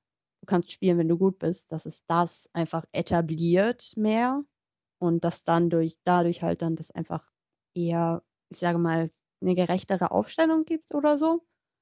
Aber ich kann mir vorstellen, dass das nicht irgendwie eine Langzeitlösung ist. Also es wird genutzt werden, auch einfach um diese Gleichberechtigung in der Jugger-Community ähm, mehr ins Licht zu rücken und darauf Aufmerksamkeit zu lenken und einfach zu versuchen, diese Gleichberechtigung herzustellen oder einfach in der Community festzunageln. Aber ich kann mir sehr, also ich hoffe, dass es irgendwann einen Punkt gibt, wo das einfach nicht mehr gebraucht wird, weil es normal ist, dass wenn man gut ist, man die Position spielt, in der man gut ist. Egal, ob man jetzt äh, Mann, Frau, divers oder irgendwas anderes ist. Dass es nicht darum geht, wer du bist, sondern wie du spielst. Ja, ich denke, dass die Quote dabei hilft, dass nicht Männer zeigen können, was sie auf dem Turnier leisten können, weil sie halt sonst leider nicht dazu kommen, das zu präsentieren, weil halt immer ein Standardkader genommen wird oder so, was halt dann spielt. Aber jetzt, dadurch, dass es die Quote gab, hat man gezeigt, was zum Beispiel, wie du meintest, Julia bei euch im Team ja ähm, Ruhe reinbringen kann, was ja auch in manchen Spielen super äh, hilfreich ist. Also für mich als Aufsteller sind diese Quotenregelungen insofern ganz angenehm, dass ich quasi, wenn man dann eben unter Druck gerät, weil man vielleicht in Rückstand gerät oder weil es einfach ein knappes Spiel ist, dass man dann nicht seinem Bias nachgibt, den, den wir halt alle leider in uns tragen und dann einfach knaller durchziehen muss. So. Und dann, dann stellen wir halt jetzt in diesem Fall unsere Söldnerin aus und wir müssen das hinkriegen, dass wir die in unser Spiel eingebunden kriegen. Das ist unsere Aufgabe. Und ausweichen, wie wir stellen jetzt einfach unsere Standardaufstellung ein und wenn es dann nicht funktioniert, dann waren wir nicht gut genug. Das zieht halt nicht mehr. Von daher begrüße ich das auch. Ich denke jetzt auch nicht, dass es sich auf allen Turnieren irgendwie durchsetzen wird, aber ich würde mich ehrlich gesagt freuen, wenn ich ab und an mal wieder solche Turniere spielen könnte. Das stimmt. Wir hatten tatsächlich, oder ich glaube, auf dem Turnier war auch die Quote nicht unbedingt bei manchen Personen das größte Problem. Weil was ich mitbekommen habe, war, dass beim Pompfencheck Ja. die Ballregelung richtig hart ähm, kontrolliert worden ist mit den 20 Zentimeter Durchmessern. Und ich glaube, sie haben es ähm, hochgerechnet und irgendwie ganz knapp abgerundet, sodass der Ball, glaube ich, 19,8 Ich Zentimeter glaube, sie hat. hatten, sie hatten den Durchmesser genommen und von dem Durchmesser 1 cm Toleranz eingebaut und das dann rückgerechnet, also einmal durch Pi und durch 2, ähm, um damit aus dem Radius bzw. den Durchmesser zu kommen. Also, wir hatten fünf Ketten dabei und meine eine ist durchgekommen. Das war dann die heilige Kette. Das war dann Ronja, wo ist die Kette? Also es war nicht mehr so, wo ist deine Kette, sondern wo ist die Kette? Weil das halt ein, ich würde mal sagen, ich glaube, das war ein relativ neuer Ball. Den hatte ich irgendwie, glaube ich, so erst drei, vier Mal gespielt mit ähm, beim Training. Deshalb war der halt noch die richtige Größe und alle anderen sind halt nicht durchgekommen bei uns im Team. Das war dann so, da, da wurde auf die Kette so richtig mit Falkenaugen aufgepasst, dass die nicht verloren geht, weil das unsere einzige Kette war. Ja, also das war auch, glaube ich, so ein Punkt. Äh, ich habe manche Teams irgendwelche Schaumstoff ähm, an Bälle kleben sehen, um irgendwie auf diese 20 Zentimeter zu kommen. Das fand ich irgendwie ganz witzig. Und es hat ja nicht nur das Turnier somit eine Diskussion im Forum vor dem Turnier ausgelöst, sondern auch im Nachhinein, weil ich glaube, Fabi von der NLG ähm, angefangen hat, eine Forumdiskussion zu starten, um nicht den Balleinkauf zu erleichtern, indem man sagt, man, wir ändern das anstatt auf 20 Zentimeter, sondern auf 19 runter. Weil der Unterschied, glaube ich, im Spiel, Ja. zumindest in meiner Wahrnehmung, ich habe das nie sehen können oder wahrnehmen können, dass jemand einen 20 Zentimeter Ball oder 19 Zentimeter Ball hat. Und für den Einkauf macht es einfach das, die, die Arbeit so viel leichter. Ja. Es obliegt ja auch einfach den Pompfencheckern, da ein vernünftiges Maß anzusetzen. Ja, es ist auch so, alle Kettenspieler haben gefühlt denselben Ball. Es gab jetzt mal kurz diese Bewegung mit diesen aufblasbaren Beach-Neopren-Volleyballbällen, dass die irgendwie öfter mal benutzt würden, aber ansonsten haben halt alle genau denselben Schaumstoffball. Und der wird halt kleiner, wenn man ihn spielt. Und ich glaube, selbst wenn man ihn kauft, ist er schon nicht ganz 20 Zentimeter, obwohl man ihn als 20 Zentimeter kauft. Das heißt, eigentlich müsste keine Kette der Welt momentan durch den Pompfencheck gehen, wenn das genau genommen wird. Oder halt wirklich nur welche, die ganz neu sind. Es ist wie mit den Poolnullen, dass ähm, die, das sind Spielwaren. Niemand interessiert da, ob die jetzt auf den Zentimeter oder auf den Millimeter genau gefertigt werden oder nicht, außer uns Jugger. Also meiner Erfahrung nach zeigt es, je nachdem, wo du die Bälle kaufst und welche du bestellst, hast du ähm, tatsächlich schon von Start an direkt die 20 Zentimeter. Ähm, und es gibt zum Beispiel auch ein, zwei Ausnahmen, die sogar 21 Zentimeter Bälle ähm, verkaufen. Die sind aber dann recht teuer. Das ist halt so der Hauptpunkt, dass generell, wenn du einen Ball haben willst, wo du weißt, der ist die 20 Zentimeter, die sind dann echt recht, anstatt mal so eben unter 5 Euro bis 10 Euro, kosten die da mal schnell ja 15 Euro aufwärts und das ist schon echt teils schmerzlich. Ja. Ich glaube, da sind wir, sind wir alle dran gewachsen, dass wir Bälle nicht mehr so genau, beziehungsweise entweder das Maß anpassen oder den Pompfencheck da ein bisschen anpassen. Habt ihr noch spielerisch was zur ähm, Thüringer Meisterschaft? Also spielerisch ist mir auf jeden Fall ein sehr, sehr junges Team sehr positiv aufgefallen. Wir hatten leider kein Spiel gegen ähm, die Zonenzwerge aus Jena, aber ich habe neben dem Spielfeld mit ein, zwei, drei Leuten von denen gepompft, äh, mir Spiele mit denen zusammen angeschaut und ich habe so unglaublichen Respekt vor den Leuten, die dieses Team trainieren, aufbauen. Die waren so freundlich, so Jagger begeistert und für das doch, würde ich sagen, jetzt recht junge Alter dafür, dass das Turnier freigestellt war, ab wann man spielen konnte. Also kein explizites Kinder- oder Jugendturnier. So informiert, so ein riesen Jugger-Brain, das habe ich noch nie erlebt. Also ich habe ein 2 gegen 1 mit einer Kette gemütlich am Spielfeldrand gespielt und ich war da am Ende nach so zehn Zügen kaputt, weil ich so viel laufen musste, weil die mir so viel Druck gemacht haben und so unglaublich stark gespielt haben. Also ich bin echt neidisch, dass ich in diesem Alter nicht so ein schönes Training hatte und so geil Jugger genießen konnte, wie die das aktuell tun können. Ich habe dich gesehen, als du mit denen gepompt hast und wollte die ganze Zeit hin und ich musste schießen. Ärgerlich. Hättest, äh, du hast was verpasst. Also Ich hab du mich sehr hast geärgert, wirklich ja. was verpasst.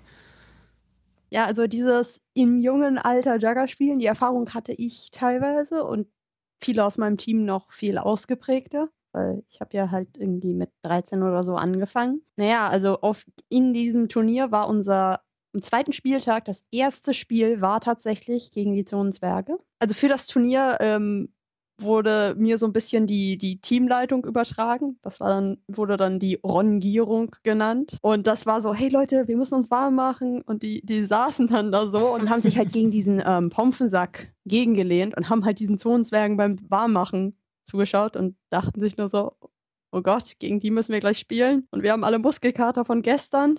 Irgendwann haben wir uns dann auch warm gemacht, aber es war, es war so ein, es lag ein bisschen Angst in der Luft teilweise so.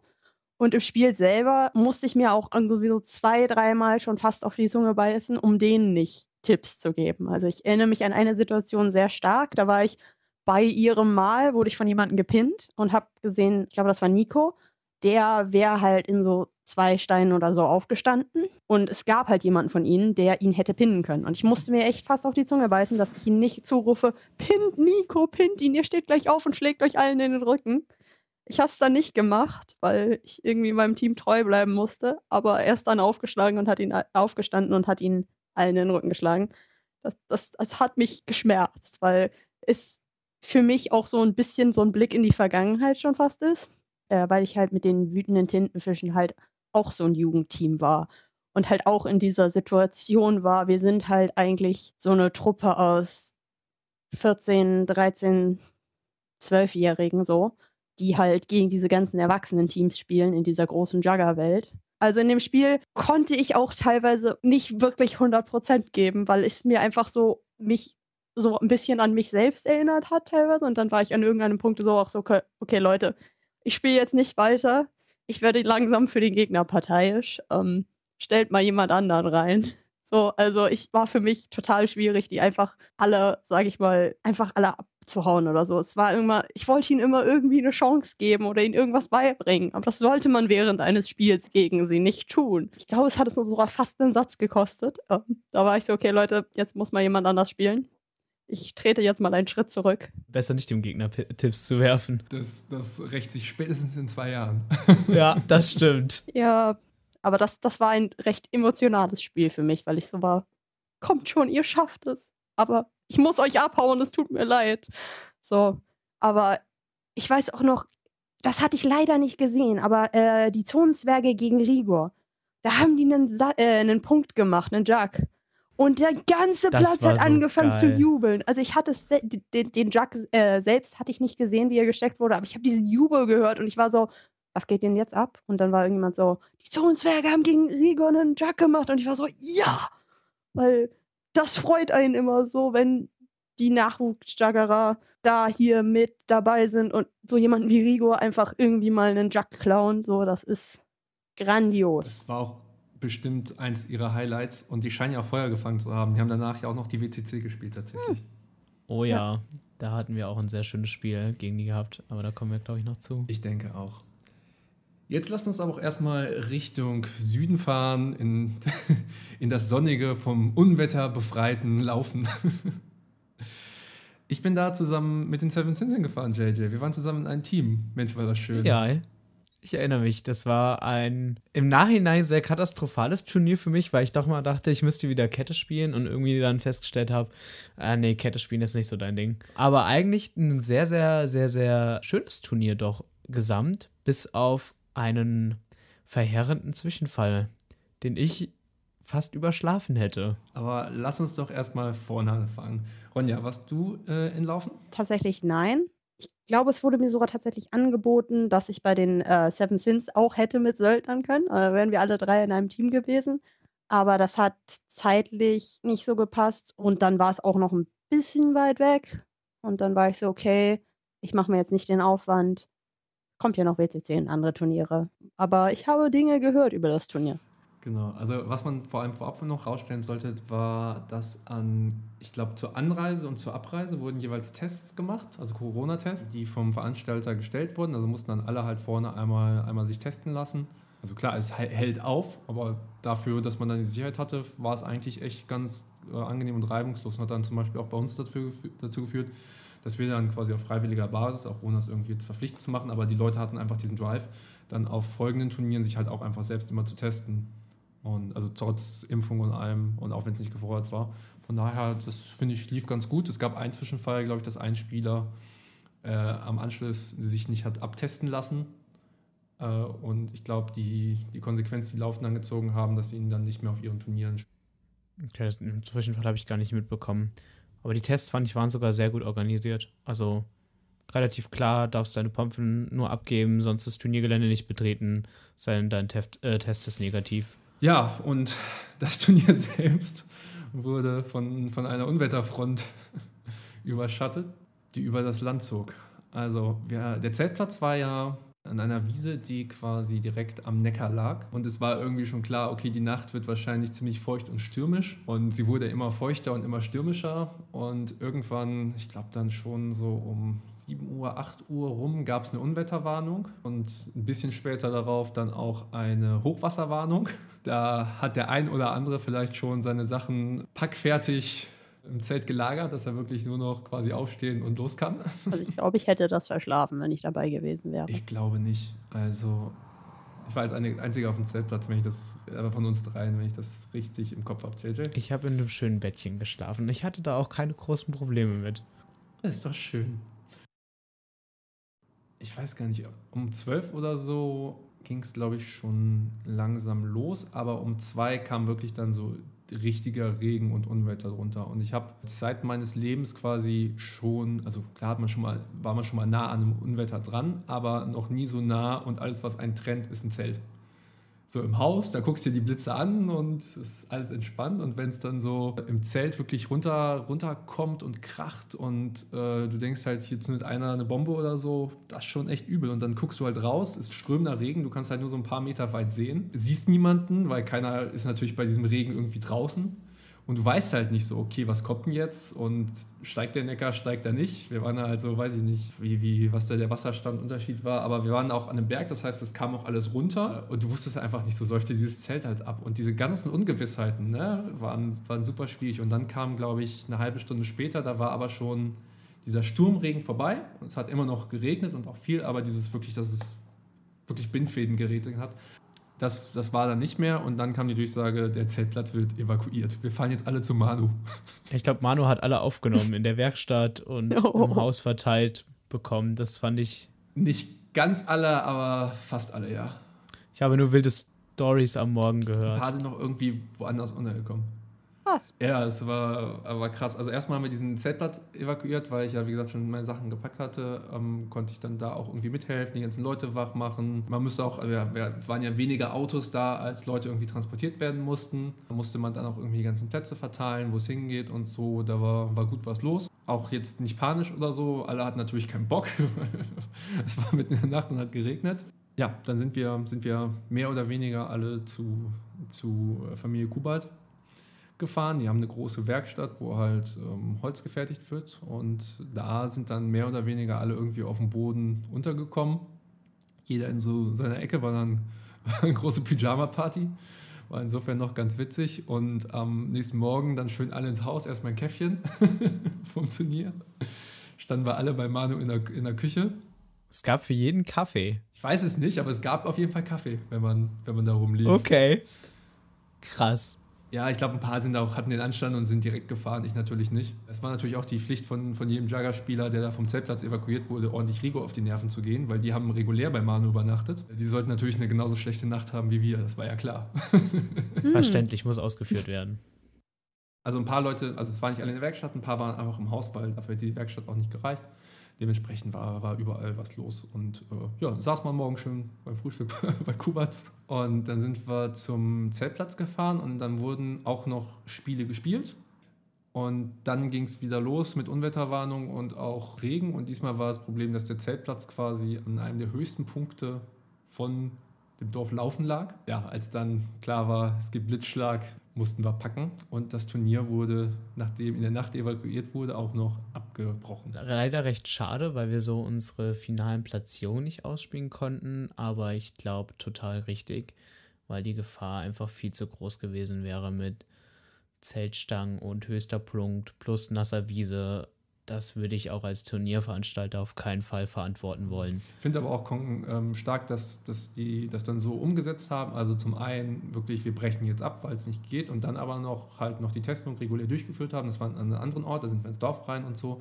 Dann wurde abgetestet und wie sie das organisiert haben und dass diese Notfallpläne gegriffen haben, die sie offensichtlich schon vorher hatten, das finde ich war, war ziemlich, ziemlich gut von den Laufenden. Also ja. von daher ordentlich Respekt dafür und schade ist natürlich insbesondere, weil die Sins natürlich sau stark unterwegs waren und ein, ein gewisses äh, Berliner Team äh, sich an gewissen anderen Teams, zum Beispiel FKK, richtig abgearbeitet hatte.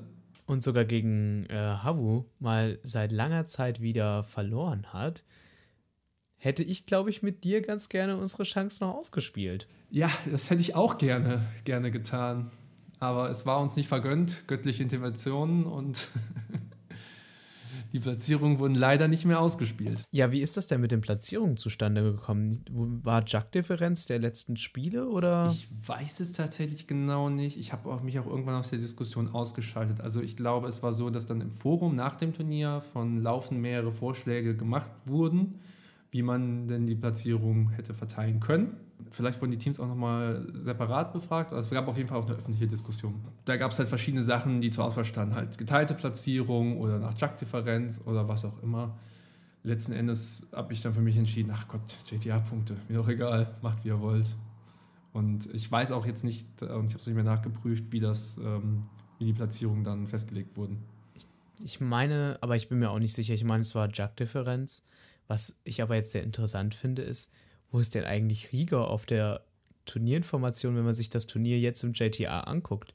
Weil die haben keine Platzierung bekommen. Dann wollten sie das wohl vielleicht nicht.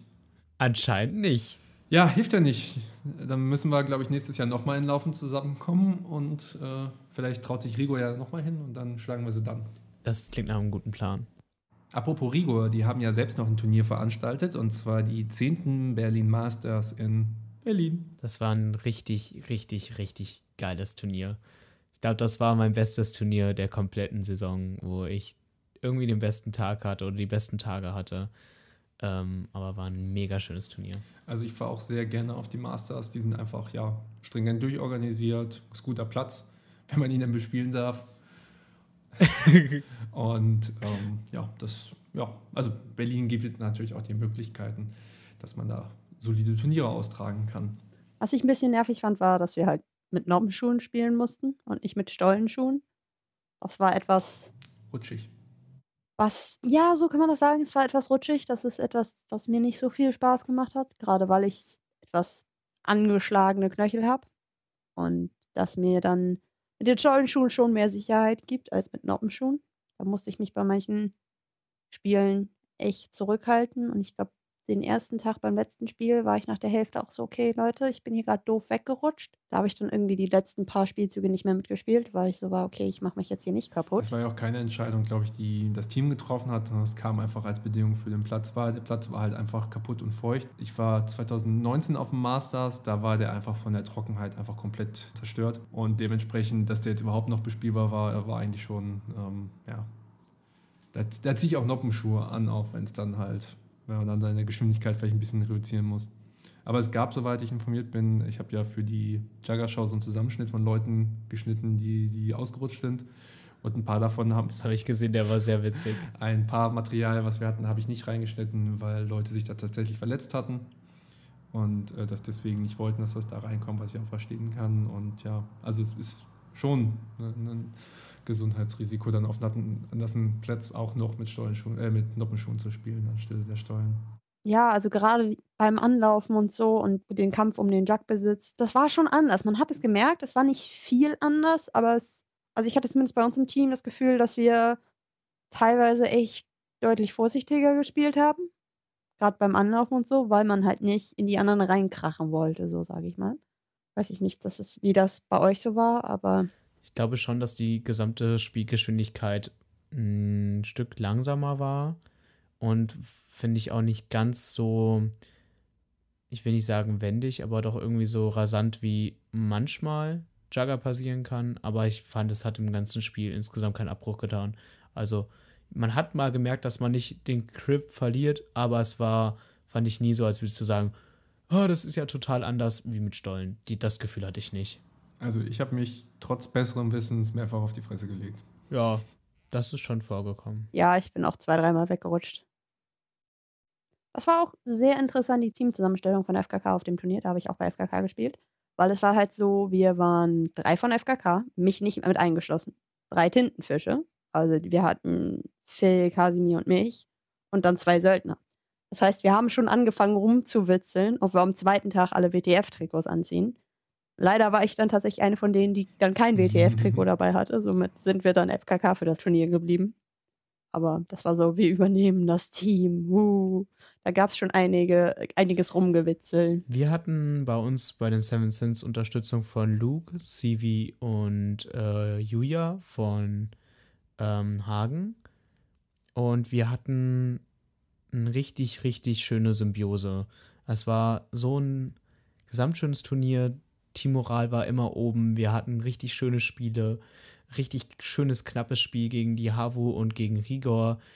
Starke Spiele gegen NRG, wo die von ähm, Max Teske aus Rigor gecoacht worden sind, wo wir auch mega an der Aufstellung wechseln mussten, damit wir da irgendwie kontern konnten. Das war ein einfach gesamtschönes äh, Turnier. Nur der Zeltplatz war meiner Erfahrung nach nicht so optimal, aber ich glaube, die konnten es einfach tatsächlich besser lösen. Ja, also ich hätte es ganz cool gefunden, wenn sie diese eine Tür geöffnet hat, hätten. Weil da war ja dieser Zaun, hinter dem im Prinzip die ganzen Parkplätze waren. Und auf der anderen Seite des Zauns waren ja die meisten Zelte. Und da musste man halt einmal um das gesamte Gebäude rumlaufen, an der Straße lang, um halt was auch immer. Da war ja auch noch dieses Fitnesscenter und so. Da musste man ja einmal komplett außen rumlaufen, um von der einen Seite des Zauns zur anderen Seite des Zauns zu kommen. Es gab eine Tür, die war bloß leider abgeschlossen. Wir haben ähm, am Abend, aber saßen wir auch lange auf dem, auf, dem, ähm, auf dem Gelände, saßen aber nicht oben am Zeltplatz, sondern wirklich unten an der, an der Sportstätte. Da standen ja auch noch Pavillons und Bänke. Und dann saßen wir teamintern da, hatten aber auch immer viel Laufverkehr, weil einfach nochmal Leute vom Einkaufen nur so lang kamen und so. Und ich habe das, das war so ein Moment, wo ich nach der ganzen Pandemie und so einfach bewusst extrem genossen habe, mit meinem Team zusammen zu sein und da den Abend zu verbringen. Und auch wenn, wenn der Rest der Jugger natürlich auch ein nettes, Völkchen ist, ähm, dann wirklich dann so intensiv mit dem Team nochmal abzuhängen, war, war sehr schön für mich. Ich weiß, ich bin da einmal an der Gruppe vorbeigelaufen und habt ihr hier äh, Jugger-Lieder gesungen. Das war ganz cool. und dann hatte ich den Ohrwurm von, ähm, was war das denn? Ich Sching, glaub, Sching, Sching ist durch. nee, das war, glaube ich, Bauer. Ich glaube, ich hatte den Ohrwurm vom Bauer. Das war aber das Schlimmste war, ihr hattet zu dem Zeitpunkt nicht mal Bauer gesungen, ihr hattet irgendwas anderes gesungen. Aber da war ich so, okay, die Pawns singen. Und mein Gehirn war so, Bauer, warum hast du nichts gelernt? Und dann war es so, dann habe ich es irgendwie für 20 Minuten oder so nicht mehr aus dem Kopf gekriegt. das ist ja nicht lange. Ja, aber es war halt so kurz vorm Einschlafen. Das war so, ich will jetzt schlafen. Bauer, nein.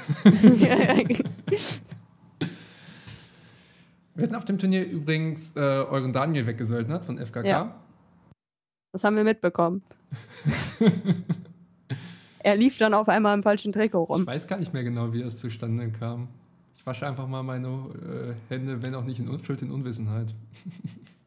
ich glaube, es war einfach, er war so, hey Daniel, willst du was spielen? Und er war so, ja. das war einfach. Und hat uns den Rücken zugekehrt. Sich in einen Pawns-Fanboy verwandelt. Ja. Ich weiß es nicht, wie das zustande gekommen ist.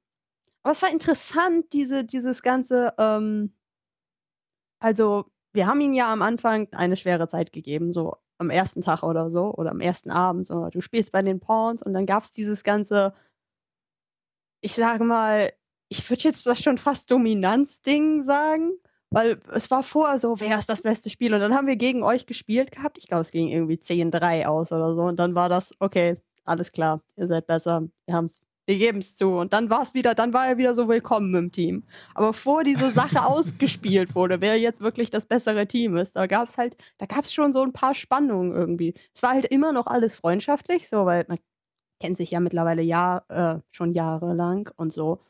Also es ist ja nicht so, dass man sich auf einmal nur anfängt zu hassen, nur weil man in einem anderen Team spielt. Aber es war schon dieses so, du bist jetzt beim Gegner, du bist böse. Wir müssen dir beweisen, dass wir gut sind, so ein bisschen so es war, es war eine interessante Dynamik, die ich vorher noch nie so richtig erlebt habe. Und ja, nach dem Spiel war das dann eigentlich alles wieder vorbei. Dann war es halt wieder so, okay, ja gut, es ist halt Daniel. Genau, und dann hatten wir noch, hatten wir noch Helene als Söldnerin. Die hat in Bonn angefangen, dann in Basel gespielt, war jetzt zuletzt in Jena und ist jetzt, glaube ich, wieder in Bonn. Die war vorher schon immer viel bei uns im Training, weil sie mit einzelnen Spielern von uns befreundet ist. Aber jetzt das erste Mal mit uns auf dem Turnier. Und das war auch eine richtig gute Erfahrung. Also das Training hat halt irgendwie zumindest dafür gesorgt, dass sie kompatibel mit dem ist, was wir sind. Und sie hat sich da extrem gut eingefügt. Das war auch ganz angenehm. Und was wir dann aber festgestellt haben, wir haben ja das Finale dann gegen Rigo gespielt und haben dann einfach gemerkt, okay, unter diesen Drucksituationen, also vorher haben wir irgendwie mal schön entspannt Linien gespielt und die Gegner haben uns das auch immer machen lassen. Und bei Rigor haben wir das zwar auch angestrebt, aber es war klar, so, sobald irgendwie eine Unsicherheit entsteht, dann wird halt auf jeden Fall geballert. Ne? Wo wir vorher auf dem Turnier bewusst gesagt haben, okay, wir wollen, ist Corona, wir sind alle nicht so fit. Ähm, lass mal so kraftsparend spielen wie möglich und wenn dann halt irgendwie mal ein Punkt verloren geht, dann ist das so. Wenn wir in Summe gewinnen, ist das fein. Bloß halt nicht irgendwie veranstrengen oder ausrutschen oder verletzen oder irgend so ein Quatsch. Und als dann Finale war, war klar, okay, jetzt sind alle Dämme gebrochen, alle auf 100 Prozent und gib ihm.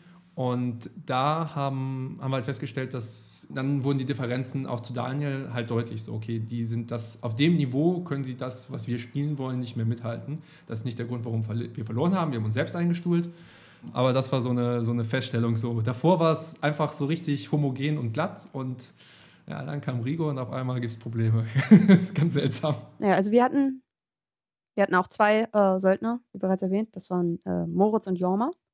Die kamen auch ganz gut bei uns im Team mit an. Das lief ganz gut. Also wir hatten tatsächlich dann auch am Ende eine recht gute, recht starke Aufstellung. Weißt du noch, welchen Platz ihr gemacht habt? Puh, warte mal, ich glaube, das. Oh, ich muss mich nur umdrehen. Dann legt die Urkunde. Wir sind 14. geworden. ähm, ich habe unsere Urkunde auch noch hier. Zeigt ihr euch mal. Das ist jetzt, das entgeht den Podcast-Hörern. Es gibt keine Zuschauerversion, aber ihr könnt diesen Spaß haben. das ist, äh, sehr, sehr schön. Schon mm. hart. ja. Das ist jetzt ein Gag, den wir für immer bei uns, äh, den wir für uns immer behalten können. Und alle werden sich fragen, worüber haben sie in dieser Podcast-Ausgabe so gelacht. Ach, das ist schon, das ist, das ist schon sehr geil. Ach ja. Mir ist der Turnierplan in der Hinsicht ein bisschen, also nicht negativ, aber ich fand es schade. Einfach nur, weil wir nicht gegeneinander spielen konnten. Ich hätte das eigentlich noch sehr, sehr gerne ausgespielt, weil wir haben gegen NRG zweimal gespielt, aber gegen Pawns halt nicht einmal. Klar war Gruppenphase und zweite Gruppenphase bedingt, aber leider sind wir auf dem ganzen Turnier nicht einmal aufeinander getroffen.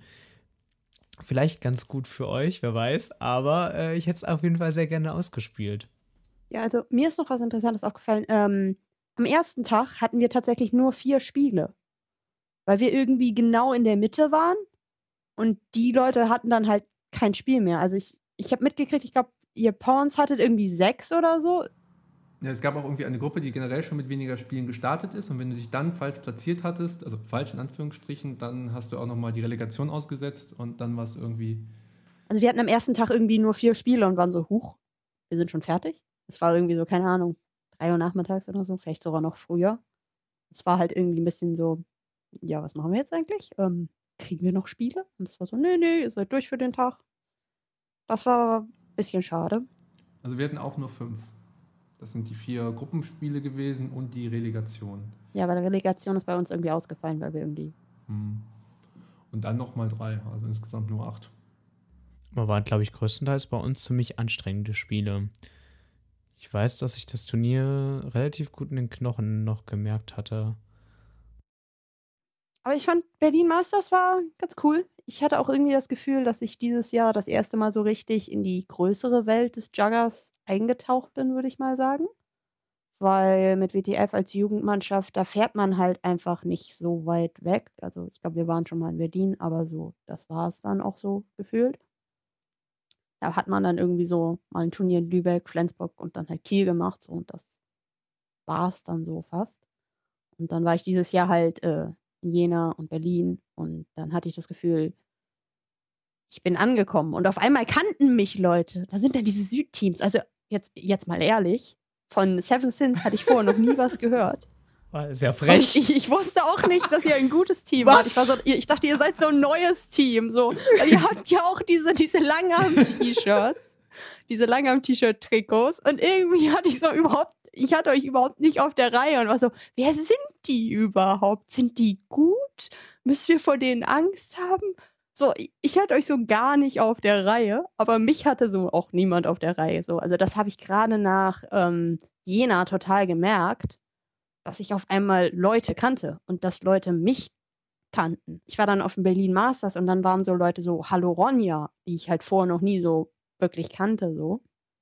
Also da bin ich, da waren dann auch, also gerade in Jena waren ganz viele Leute so, wow, wo kommt denn diese Kette her? Wie lange spielt die denn schon? Wo habt ihr die denn her? Und wenn ich dann so war, ja, ich spiele schon seit fünf Jahren Jagger, waren die so, warte mal, was? Wo hast du dich bisher versteckt? So.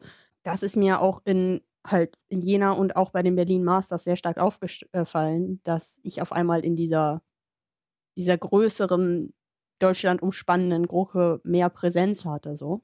Das war schon, das war, das war eine coole Erfahrung, weil man auf einmal nicht mehr nur die kleine Ronja war, so, die im Jugendteam spielt, sondern halt. Auch in meiner Erfahrung wurde in Jena sehr viel über dich geredet und das positiv. Ja, also das, also viel Feedback wurde dann halt tatsächlich hinter meinem Rücken positiv geredet. so, also da, da, da, hat mir dann irgendjemand erzählt, dass irgendjemand was Positives erzählt hat. Ich glaube, irgendjemand bei den Zonenkindern hatte auch was gesagt. Ich weiß nicht mehr genau, was er gesagt hat. Also, also ich, ich, also wie gesagt, neu in der Jagersphäre. Ich wusste nicht mehr, wer die Seven Sins sind. Also konnte ich das auch nicht einschätzen, aber als ich dann jemand anderen darüber erzählt hat, was diese Person erzählt hat, ich weiß nicht mehr, wer das war, waren die so, boah, krass, das ist hier voll der große Typ und wenn der sagt, dass du gut Jugger spielen kannst, dann ist das ja, also Kette spielen kannst, dann ist das ja voll das krasse Kompliment und ich war so, also da, da also am Anfang wusste ich gar nicht, wie ich damit so umgehe, aber das ist schon, es ist schön, auch mal andere Leute kennenzulernen. Das Spiel von FKK gegen den Peter Spons ist ja sogar tatsächlich schon online. Aber schon krass, also dafür, dass du ihn nicht abnützen wolltest, bist du gerade ganz eben einmal schnell den Läufer hinterhergelaufen, weil ihr den übersehen habt. Hoppla, hoppla. Ja, ja also was, was man vorhat und was man auch umsetzt, das sind ja nochmal zwei Das ist richtig. Aber es ist auf jeden Fall ein schönes ähm, Spiel. Wenn du das NRG-Spiel anguckst, dann gibt es viele Momente, wo ich wirklich einfach sage, äh, nee, das, ist, das NRG-Spiel war schrecklich. Das vergesst, dass es existiert. Das war. Da, da stand dann Daniel auch mit so einem patentierten, einfach komplett enttäuschten Gesichtsausdruck am Rand und war so, Leute, das meint ihr jetzt nicht ernst, oder? Also da, da, haben wir, da waren wir noch nicht wach, hatten uns nicht, hatten irgendwie vorher keine Zeit gehabt, uns warm zu machen und es war irgendwie, das ganze Spiel war komplett verhext. Wir haben so dumme Entscheidungen in dem Spiel gemacht. Also das war echt keine Glanzleistung. Schaut euch lieber das Spiel gegen die Pawns an, das war gut. ja. nee, bei unserem Spiel gegen die NRG war es halt einfach auch klar, okay, die sind alle halt irgendwie 18, 17 oder so, stehen mitten im Saft. Wenn die losrennen, dann rennen wir nicht hinterher. Ja, gerade Tom ist so schnell und alle so fit, das ist unglaublich. Tom hatte aber noch einen ärgerlichen Zwischenfall auf dem Turnier. Der wurde nämlich beim Jug holen einfach mal frecherweise von der Wespe gestochen. Anscheinend sollte er den Jug nicht bekommen. Und was ich daran so respektvoll fand, er hat einfach den Zug eiskalt komplett durchgespielt. Hat sich zwar, glaube ich, danach einen, einen Zug rausgenommen, aber ab dann das, das Turnier wieder weitergemacht. Als wäre nichts mehr, mitten in den Oberschenkel, aber ja, stört ja anscheinend nicht. Das ist schon beeindruckend. Das hätte ich vielleicht nicht gemacht. Weiß ich nicht. Ist schon etwas länger her, dass ich von der Biene oder Wespe gestochen wurde. Dann lass uns doch auch die Berlin Masters abschließen. Zeitgleich haben noch die zweite rheinische Meisterschaft stattgefunden. Da waren dementsprechend, weil wir alle auf den Masters waren, keiner da. Aber wenn ich das richtig verstanden hatte, hatte JJ ein Eisen im Ofen. Ja, also bei dem Pompenbrecher, ein Team aus Breitenbach in der Nähe von mir, die haben das Turnier nämlich eiskalt gewonnen. Und ich war sehr froh, das zu hören. Ich habe leider kaum Erfahrungen mitnehmen können. Ich glaube, es gibt auch keine Videoaufnahmen leider. Ich hätte da bestimmt ein, zwei Spiele gesehen. Aber soweit ich das mitbekommen habe, sind die da ganz gut äh, durchmarschiert. Und generell haben sie, glaube ich, eine recht gute Season gespielt. Wir kommen gleich zur nächsten Turnierdopplung, weil offensichtlich war der August völlig vollgepackt mit Turnieren. Fast zeitgleich hat in Bamberg das Turnier zur Goldenen Pompe stattgefunden und an dem Sonntag dann in Wuppertal das Schnapsdielen-Pokal. Ich war aber bei keinem von beiden Turnieren. Da hast du was verpasst. Ihr beide habt dann was verpasst. Also ihr hättet das erstmal so machen sollen wie Nikolai, nämlich am Anfang Wuppertal mitnehmen, euch da voll essen, äh, den Magen auskurieren auf der Fahrt nach Bamberg. Ähm, Ach so rum war es, dann war Ja, Wuppertal, Wuppertal am Samstag, ja. Genau, Freitag anreisen, Party, spielen richtig. und dann Bamberg. Ich habe in Bamberg äh, bei NRG spielen dürfen. Wir haben richtig, richtig schöne Spiele gehabt und man hat auch noch mal so weit im Süden ganz andere Teams gesehen ähm, und bekommen, die diese Saison zumindest in meiner Wahrnehmung nach leider nicht so häufig zu sehen waren, wie zum Beispiel Bamberg selbst, weil die, denen sind wir nur noch auf der WCC begegnet. Und ich war richtig, richtig begeistert, auch von dem Turnier. Vielleicht, weil es nach dem bei den Masters war, aber es war auf jeden Fall ein sehr, sehr schönes Spiel.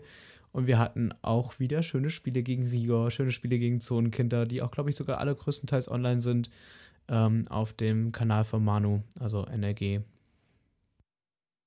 Dann kommen wir jetzt wohl zum unbestritten größten Turnier dieser Saison und wahrscheinlich der Jugger-Geschichte, die World Club Championships, auch in Berlin. Ich nehme an, wir waren alle da, das hat sich eigentlich niemand nehmen lassen. Geiles das Turnier. Einfach ein geiles Turnier. Ich versuche es mal grob zum Reißen. Wir haben auf der Wiese vor dem Olympiastadion ähm, gespielt. Es waren 72 Teams dort. Es waren internationale Gäste aus aller Herren Ländern da. Es war natürlich pandemiebedingt kleiner, als es angesetzt war. Ich glaube, als das Turnier ursprünglich Ende 2019 oder Anfang 2020 angekündigt wurde, sollten das ja bis zu 130 Startplätze sein. Auch da war schon klar, dass dann das ein oder andere drittangemeldete Team nicht kommen werden würde. Aber trotzdem, 72 ist eine, ist eine Wahnsinnszahl. Es war ein Riesenturnier. Es war völlig, also trotz der ganzen Struktur und Überschaubarkeit, äh, war es einfach viel. ich, äh, äh, es war, war überwältigend. Der Ablauf ging dann über drei Tage. Also man konnte Donnerstag anreisen, seine Pompen schon den Pompencheck geben. Dann wurde Freitag, Samstag, Sonntag durchgespielt. Man konnte mit zehn Spielern im Team oder Spielerinnen im Team auflaufen. Das war schon in Jena, gab es das auch schon wegen der Genderregelung. Und ich glaube, in Laufen wurde das auch gemacht vor Fun of Fun. Es waren ja verschiedene internationale Teams da. Die ganze Ablauf-Turnierorganisation, das war auch nicht neu, das wurde auch schon auf anderen Turnieren getestet, aber das Programm zur Organisation der Turniere, das Tugeni, hat inzwischen eine Web-Applikation und man ist in der Lage, sowohl zu gucken, wann spiele ich wo, wo was sind die Ergebnisse auch, die kann ich jetzt online einfach über eine Web- Web-Anwendung nachgucken, aber ich kann zum Beispiel auch Ergebnisse online eintragen. Ich muss dafür nicht mehr zum Orga-Zelt laufen. Das war schon sehr praktisch. Ja, und also äh, Nico entwickelt das ja, glaube ich, hauptsächlich das Tugeni und äh, das Update ist halt, hat Jagger, finde ich, nochmal richtig vorangebracht, dass man auch die ganzen Sachen halt nachlesen kann. Und auch zum Beispiel in der Dokumentation, das ist nicht die Hauptaufgabe von Tugeni, aber ich kann immer noch unseren ganzen Turnierverlauf mit den Ergebnissen nachgucken ähm, auf der Webseite. Das liefert das Das JTI ist schon ja sehr nicht. cool. Dann gab es mehrere Gruppenphasen, die gespielt wurden. Dazwischen, glaube ich, auch nochmal Relegation. Und am Ende gab es dann ähm, äh, K.O.-Bäume. Das waren, glaube ich, achter K.O.-Bäume letzten Endes. Durchgesetzt haben sich im Finale The Fellowship, das war ein spanisches Mixteam, gegen Rigor Mortis. Ich glaube, Havo und Zonenkinder haben dann 3 und 4 ausgespielt. Und ähm, die Sins und wir sind dann beide in dem Bracket darunter gelandet, also im Platz 5 bis 8. Hattet ihr denn groß die Möglichkeit, auf dem Turnier ähm, internationalen Teams zu begegnen? Also wir haben, glaube ich, gegen kein internationales Team gespielt. Aber wir mussten ein Spiel schießen. Mit den, wo die Franzosen mitgespielt haben. Ich weiß nicht mehr genau, welches Team das war. Ja, okay, das war dann Mekernhydre. Das hatte ich geschießt. Ähm, das war jetzt nicht so eine große Herausforderung. Hat man halt auf Englisch geschießt. Das ging. Aber sollte nicht in Ähm, jeder Gruppe ein internationales Team sein? In der, also in der ersten Gruppenphase? Äh, In der ersten Gruppenphase war es tatsächlich äh, Wütende Tintenfische, Freilos, äh, Falco 1 und Falco 2. Also wir haben, wir haben gegen Falco gespielt. So. da hatten wir kein internationales Team. Das Das ist ja echt schade. Wir hatten mehrere Begegnungen. Wir hatten die anderen beiden spanischen Teams. Ähm, Fimures Huafanos. Tut mir leid, wenn ich den Namen jetzt gebutschert habe. Ähm, und Arima Guldak. Ich glaube, so sprechen die sich aus. Ich bin furchtbar schlecht mit spanischen Namen. Ähm, dann haben wir auch gegen die Franzosen gespielt. Ähm, und das war's. Da wir uns halt recht früh dann hochgespielt haben, sind wir natürlich ähm, sowas wie die, po die Polen, äh, die einen Eindruck hinterlassen haben auf dem Turnier, äh, haben wir nicht mehr getroffen. Habt ihr die wahrgenommen? die Nee, tatsächlich leider gar nicht. Ja, die haben so ganz rustikal gespielt. Halt. Die hatten auch sauschwere Pompen und ähm, der Kettenspieler hat, glaube ich, so eine Kurzkette gespielt, wenn ich das richtig im Kopf habe. Oh Mann, War so- und- das war einfach viel zu groß. Sowas und, hat man leider gar und nicht auch mitbekommen. Gliederkette, wenn ich das noch, wenn ich das richtig weiß und so, wirklich so äh, Lager von der alten Schule.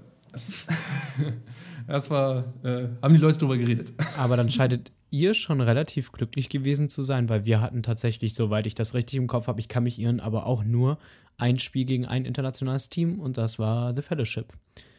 Weil sonst haben wir auch, glaube ich, gegen bisher bekannte deutsche Teams gespielt.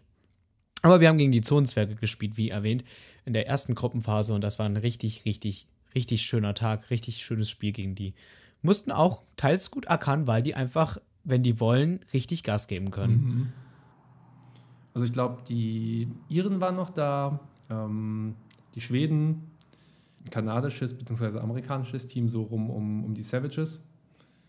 Dann die drei spanischen Teams, die wir schon genannt haben, Basel und Wien. Die sind natürlich schon recht fest in der deutschen Jagger-Community äh, angebunden, weil die auch viele Turniere dann in den Randbezirken mitnehmen. Und ich glaube, Wien war auch ähm, auf den Masters, wenn ich das richtig im Kopf habe.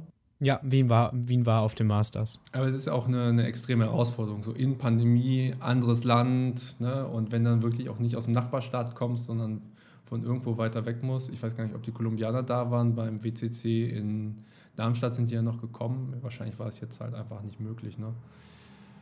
Ähm, waren Australier da? Ich glaube. Ich meine, bin mir aus- auch nicht sicher. Dreier durften nicht kommen. Wie gesagt, das Turnier war sehr, sehr groß und Es man hat viel sehr, zu sehr wenig groß. mitbekommen, leider. Das war schon irgendwie cool. Also die Location an sich war schon sehr beeindruckend. Ja, vor dem Olympiagelände zu spielen, mit dem Olympiastadion im Hintergrund und diesem einen Uhrenturm, Glockenturm auf der anderen Seite, das hat sich irgendwie nach einer Ja. ganz, ganz anderen Klasse von Jugger angefühlt. Das war, also klar, man hat nicht im Stadion gespielt oder so, aber es war schon so gefühlt, oh, auf einmal ist es ein Sport, der richtig, richtig bekannt wird, weil das einfach so ein Ja. Riesengelände war. Und der auch so ein bisschen so anerkannt wird. So, also zum Beispiel hier ähm, Jugendtraining haben wir so auf diesem halbrunden Teil hinter dem Fußballtor, also auf diesem halbrunden Teil der Wiese hinter dem Fußballtor. Das ist so, ähm, ja, also irgendwie hat man immer das Gefühl, die Fußballer sind die Wichtigen und macht bloß den Fußballern nicht den Rasen kaputt. Und wir wissen ja nicht, ob die armen Fußballer dann da noch spielen können, wenn ihr da jetzt spielt. Und es ist so. Und dann war man dann war man auf diesem krassen Platz mit dieser auch geilen Umgebung. Hier da eine Seite Olympiastadion, das andere diese komplett überwucherten Treppen und so. Und überall Juggerspieler, die auf Felden spielen und diese ganze Zeit dieses, ich sage mal, Herzschlag des Juggers, der, der die Trommeln ja schon fast sind, das ist, das war eine krasse Erfahrung. Also, das war unglaublich cool. Ja, das hat man auch, äh, die haben ja auch diese, diese Reportage gedreht, weil wir ja am Wahltag ähm, gespielt haben. Da haben sie ja auch mit so einer Drohne Mhm. so von oben gefilmt und sind dann so einmal runter über die Felder geflogen. Das war beeindruckend. Das hat das nochmal in Perspektive gesetzt, wenn man sich das so anschließend nochmal angeschaut hat. Also diese ganze Location äh, ähm, hatte, also es war beeindruckend, es war aber auch irgendwie, weiß nicht, das, das, das Optimum ist da für mich noch nicht gefunden. Also zum einen halt Berlin, wenn man, man konnte ja nicht zelten. Ähm, das heißt, man musste irgendwie unterkommen und dann sind, werden die We Ja. Wege in Berlin halt sehr lang. Also abseits Ja. des Turniers zum Beispiel, beim Masters habe ich jetzt sehr genossen, mit beim Team zu sein. Das habe ich jetzt hier auch. Aber wir hatten auch gar keine andere Möglichkeit. Also klar hätte man sich mit irgendwelchen Leuten in der Stadt treffen können. Aber erstmal raus, duschen, dann wieder zusammenkommen zum Essen oder wie auch immer, ne? Dann isst man zusammen, muss man auch wieder früh links, weil man will ja auch irgendwie nochmal Schlaf haben, weil drei Tage hält man das ja auch nicht durch. Und das ist, das fand ich so ein bisschen schade, dass man quasi abseits des Turniers nicht nochmal enger zusammen war und dass auch einfach viel Zeit in, in Reise verloren gegangen ist. Und was auch einfach extrem weird war, was ich aus, ich komme ja aus der ostwestfälischen Provinz, ähm, was man da einfach nicht gewohnt ist, dass, dass da so ein, so, so ein riesen Nazi-Bau einfach steht. Ähm, und dieses, es, man sieht es der Architektur einfach an und es fühlt sich schon seltsam an. Ja, das stimmt. Das ist richtig. Wir hatten tatsächlich das gleiche Problem. Wir hatten mit den Sins irgendwie mal versucht, noch zusammen zu Abend zu essen. Das ist aber auch manchen Punkten gar nicht gelungen. Aber weil jeder von uns eine andere Schlafmöglichkeit bei anderen Personen hatte. Und ich glaube, wir hatten auch teils Leute, die über die öffentlichen 45 Minuten Anreiseweg hatten und da war noch kein Fußweg zum Turniergelände selber drin, wo man ja auch nicht direkt hin konnte. Also mit Fußweg habe ich auch eine Stunde ja, gebraucht. Das ist schon echt einfach riesig. Berlin ist einfach riesig. Aber es war auch schon krass. Ich habe ja für die Lagerschau mich mit, mit Simon unterhalten für, ähm, für das Interview, was wir gemacht haben. Und was er da erzählt hat, wie sehr der Senat das quasi unterstützt, dass die ihnen halt Geld zur Verfügung gestellt haben, gesagt haben, wir deckeln eure Kosten quasi. Also wenn ihr was überschreitet, dann übernehmen wir das. Ähm, und ja, diese ganzen Werbungskosten und, und ähm, Flächen und so dass das alles zur Verfügung gestellt wurde für Jugger, ist schon ziemlich cool. Ich glaube auch, dass wir als Community einen ganz guten Eindruck hinterlassen haben, weil ich glaube, der Rasen sah am Ende noch mega gut aus. Da dieses, wir spielen immer nur auf einer Reihe und verschieben den nächsten Tag auf die nächste, echt geholfen. Ja. Und wir hatten natürlich Glück mit dem Wetter. Also wir hatten nicht so richtig Regen, wir hatten aber auch nicht diese Trockenheit. Von daher konnte er es wahrscheinlich ganz gut verkraften, der Rasen. Der hat das, glaube ich, ganz gut mitgenommen, ja. Das war der zweite Tag, wo es am Anfang so bitterlich kalt war, ne? Ja, Samstagmorgen, ja. ja. Und Sonntag dann richtig schönes Sonnenwetter. War schön. Das war, das war richtig gut. Mit wie vielen Leuten habt ihr denn im Team gespielt? Also wir waren zu neunt, waren mit kompletter Besetzung da und hatten noch Julia uns holen können von Hagen und Pinky von ehemalig Douglas Chuck. Aber ich glaube, er spielt auch noch Douglas Chuck und hatten mit denen ziemlich gute Erfolge gefeiert. Wir waren auch zu neunt. Also da habe ich dann wieder bei meinem eigentlichen Team den Hintenfischen gespielt. Ähm, das war schon ein cooles Erlebnis, so. Ähm, wieder auf ein Turnier mit den Hintenfischen fahren. Ähm, FKK hatte tatsächlich zwei Teams angemeldet. Da gab es halt FKK und FKK 2. Ähm, da weiß ich aber nicht genau, wie viele da jeweils mitgespielt haben. Also wir hatten auch ähm, fast alle dabei. Yannick konnte irgendwie nur ein paar Tage und hat dann ähm, verzichtet, ist dann aber noch vorbeigekommen, hat glaube ich auch nochmal bei FKK gespielt oder so. Irgendwo war er nochmal tätig, wenn ich das richtig im Kopf habe. Ich kann es aber nicht genau zuordnen. Vielleicht irre ich mich auch, vielleicht hat einfach nur so ein bisschen gepumpft. Wir haben Marian reaktiviert, der ist jetzt ja im Ref und seitdem hat er einfach nicht mehr die Trainingsmöglichkeiten, ist dann nochmal zum Turnier gekommen. War auch cool, war natürlich extrem herausfordernd, jemand, der halt seit zwei Jahren nicht mehr quasi mit uns zusammen trainiert, dann wieder in das Gefüge reinzukriegen. Und wir haben Franzi nochmal gesöldnert. Die kannten wir ja schon aus, äh, aus Jena und das hat sich irgendwie angeboten. Und dann hatten wir noch eine Spielerin mehr und sind damit genau auf 10 gekommen. Und das habe ich auch, man merkt einfach, ich werde alt. Weißt du, wenn ich vorher gesagt habe, ich spiele durch, gib mir, ne, auf jeden Fall, ist es so, ach, ist doch schön, wenn ich mal nicht spielen muss. So, nehme ich, dann, dann, dann, dann nehme ich die Züge, die schön sind und den Rest kann schön die anderen machen. Nein, also ich habe natürlich immer noch den Drang zu spielen und auch viel zu spielen, aber auch einfach zu sagen, ich muss nicht, das schätze ich schon.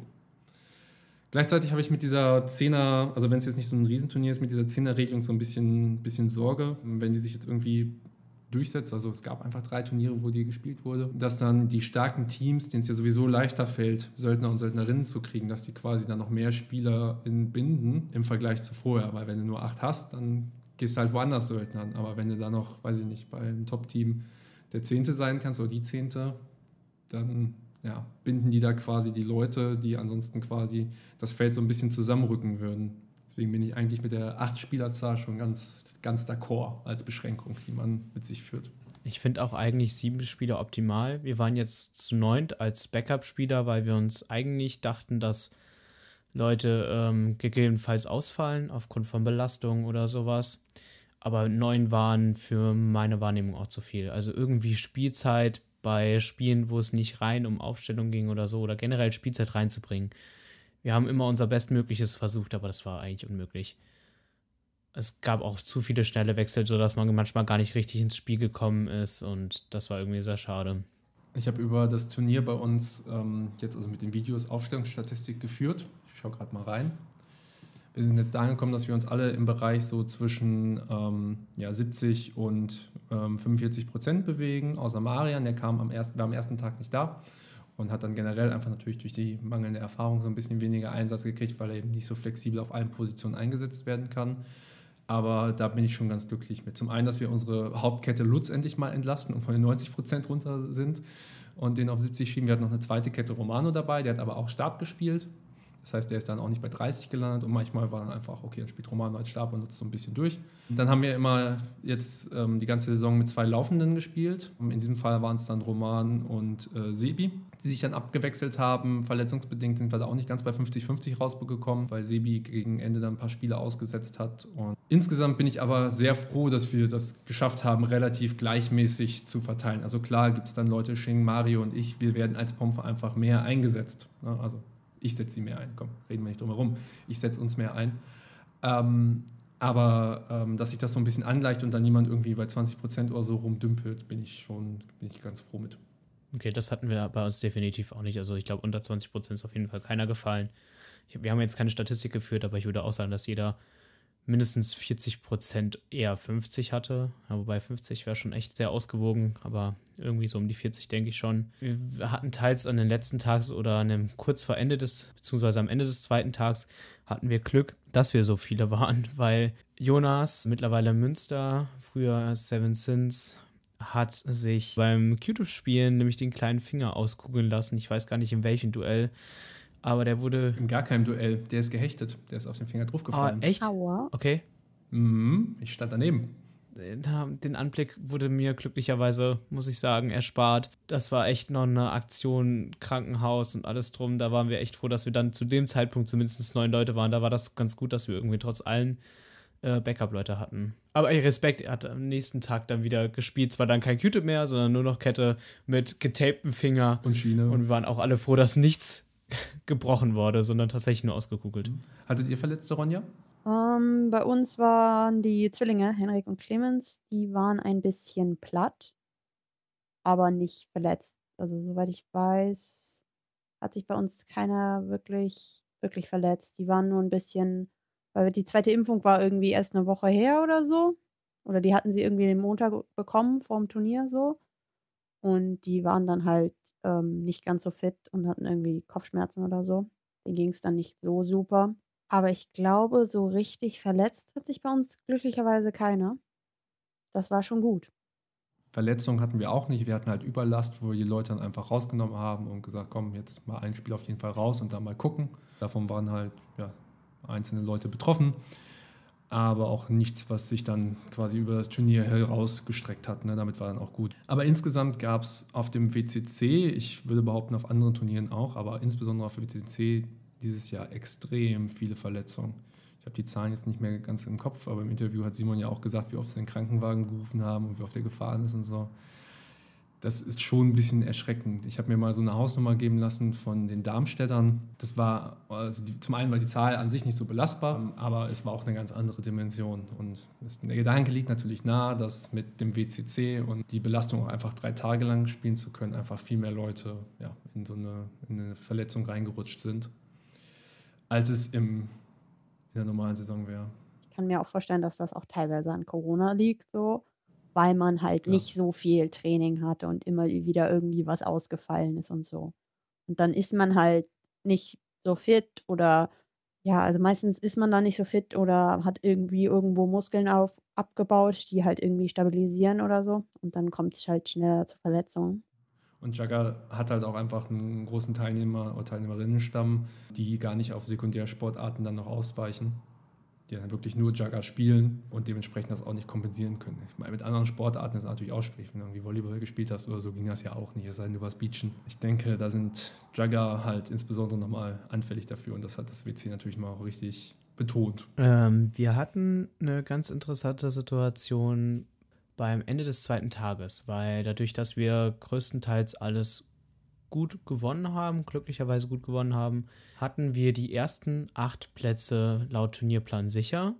Und die Gruppenphase, die dann für uns kam, war eine reine Gruppenphase, die dann ausgespielt hat, ähm, wie stark bzw. wie schwer die kommenden Gegner dann für uns werden. Und wir hatten da äh, in dieser Gruppenphase war, also wir als Sins haben dann gespielt gegen Rieger und Zonenkinder, die beiden Teams waren dann bei uns in der Gruppe und wir haben Zonenkinder geschlagen in einem sehr, sehr knappen und äh, schönen Spiel. Anstatt dann den einfacheren Gegner, zumindest von der aktuellen Wertung her, zu bekommen, haben wir Fellowship bekommen. Der Grund dafür war, dass Bamberg ähm, eigentlich gegen Fellowship hätte spielen müssen. Ich glaube, in der gleichen Gruppe wie Leipziger Nachtwache. In dieser Gruppenphase von Leipziger Nachtwache, Bamberg und Fellowship ging es dann darum, welches Team in diese oberen Top 8 Teams noch rein kann. Also da nochmal seine Plätze gut spielen kann. Ich glaube, Bamberg hat dann nicht mehr gegen Fellowship gespielt. Ich weiß nicht, ob das verletzungsbedingt oder irgendwelche anderen Gründe hatte. Ähm, Fellowship hat aber das nicht einfach so sitzen lassen und meinte, ja, wenn wir das nicht ausspielen, dann machen wir halt einen Münzwurf. Wir wollen das nicht einfach so gewin äh, gewinnen.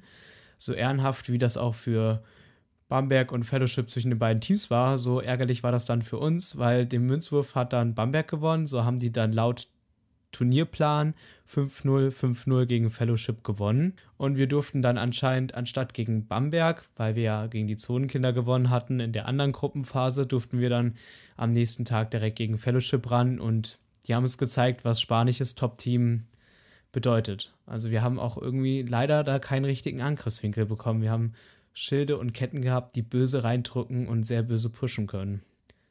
Das war für uns leider sehr ärgerlich. Diese Konstellation hat uns auch getroffen, weil wir haben in unserer Gruppe die Münchner und die HAVO geschlagen, waren damit top platziert in unserer Gruppe und durften dann direkt gegen die Zonis ran. Weil wir die geschlagen hatten. Weil ihr die geschlagen hattet, genau. Ah. Haben das dann leider verloren und waren damit auch nur noch für Platz 5 zu platzieren und haben damit auch das Spiel gegen die Fellowship verpasst. Bei uns äh, lief es am ersten Tag sehr, sehr gut. Also ich glaube, da haben wir ein Spiel gegen Falco verloren gehabt und den Rest gewonnen. Und das war für uns so eine komplett neue Erfahrung so, weil sonst, ja, also wir waren halt als WTF, waren wir halt noch nicht auf so unglaublich vielen Turnieren und waren dann auch noch nie so wirklich so an der Spitze, sage ich jetzt mal. Und dann war das so, ja, ja, Leute, ihr könnt hier noch Top bla bla bla werden und ihr seid hier gerade voll weit oben im Bracket und wir waren so, was in aller Welt passiert hier gerade? Ja, der zweite Tag hat uns dann wieder ein bisschen die Realität gezeigt und wir sind dann ein bisschen vermöbelt worden, würde ich mal sagen. Also ich glaube, am zweiten Tag haben wir ein Spiel unentschieden gespielt gegen die Partyhände und ansonsten haben wir eigentlich nur verloren. Das war schade, besonders die letzten beiden Spiele, weil wir haben gegen die Schergen 2.0 am ersten Tag schon gewonnen gehabt. Und am zweiten Tag haben wir gegen sie verloren. Das lag auch teilweise daran, dass wir irgendwie zwischenzeitlich vier Stunden Pause hatten. Aber anstatt uns zu sagen, jo Leute, ihr habt vier Stunden Pause, wurde uns alle zehn Minuten gesagt, Leute, was macht ihr hier? Ihr müsst da hinten auf Feld 13 oder so, das war so das letzte Feld in der Reihe, müsst ihr schießen jetzt und dann gleich spielen. Das heißt, uns wurden, wir sind irgendwie so alle 15 Minuten oder so, sind wir einmal über den Platz in Panik gerannt. Und dann war da nichts. Das war halt sehr schade. Und dann hatten wir auch irgendwie waren wir dann schon recht fertig bei den Spielen und konnten, also Schergen 2.0 haben wir dann verloren und wir waren einfach komplett durch am Ende und haben dann gegen Slot Machine haben wir dann auch noch verloren. Und ich glaube, wenn wir das früher gespielt hätten oder halt irgendwie die Pause anders verwendet hätten, hätten wir das vielleicht gewinnen können. So wie es aussieht, haben wir es dann verloren gehabt. Aber am letzten Tag haben wir eigentlich alle Spiele gewonnen, bis auf das letzte. Das heißt, wir waren am ersten Tag steil hoch im, im Ranking, am zweiten Tag steil runter und am dritten Tag haben wir uns dann noch, waren wir dann, konnten wir doch noch höchstens Top 25 werden und haben uns dann hochgekämpft.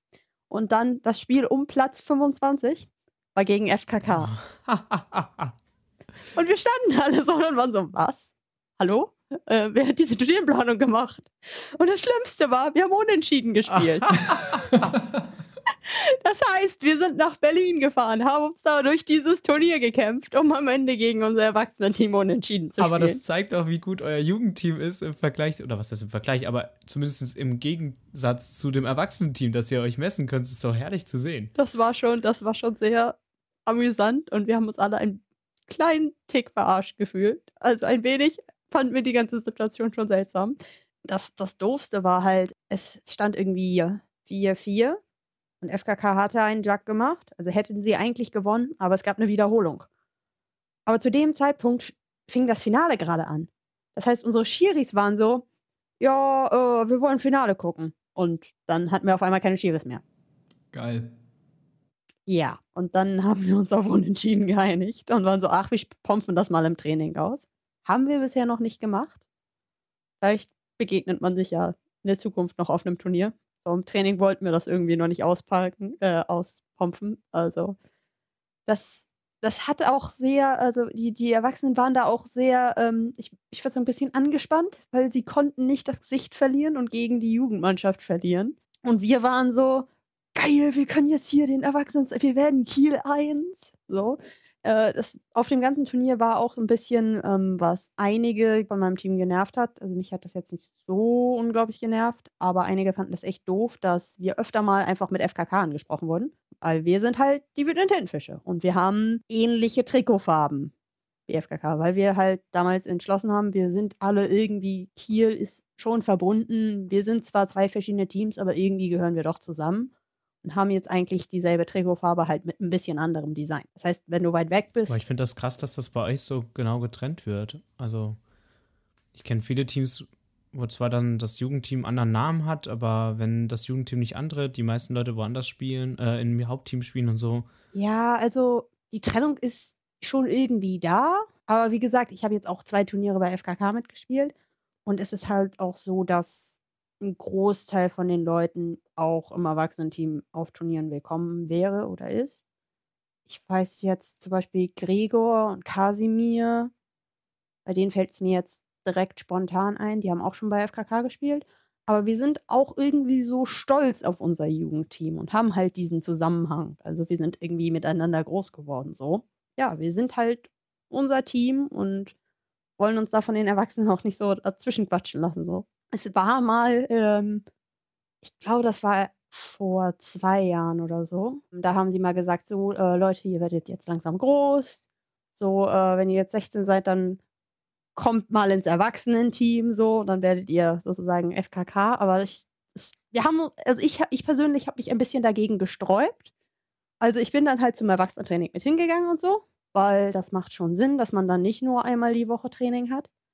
Aber ich war so, ich bin immer noch ein wütender Tintenfisch und kein Fischkorbkrieger.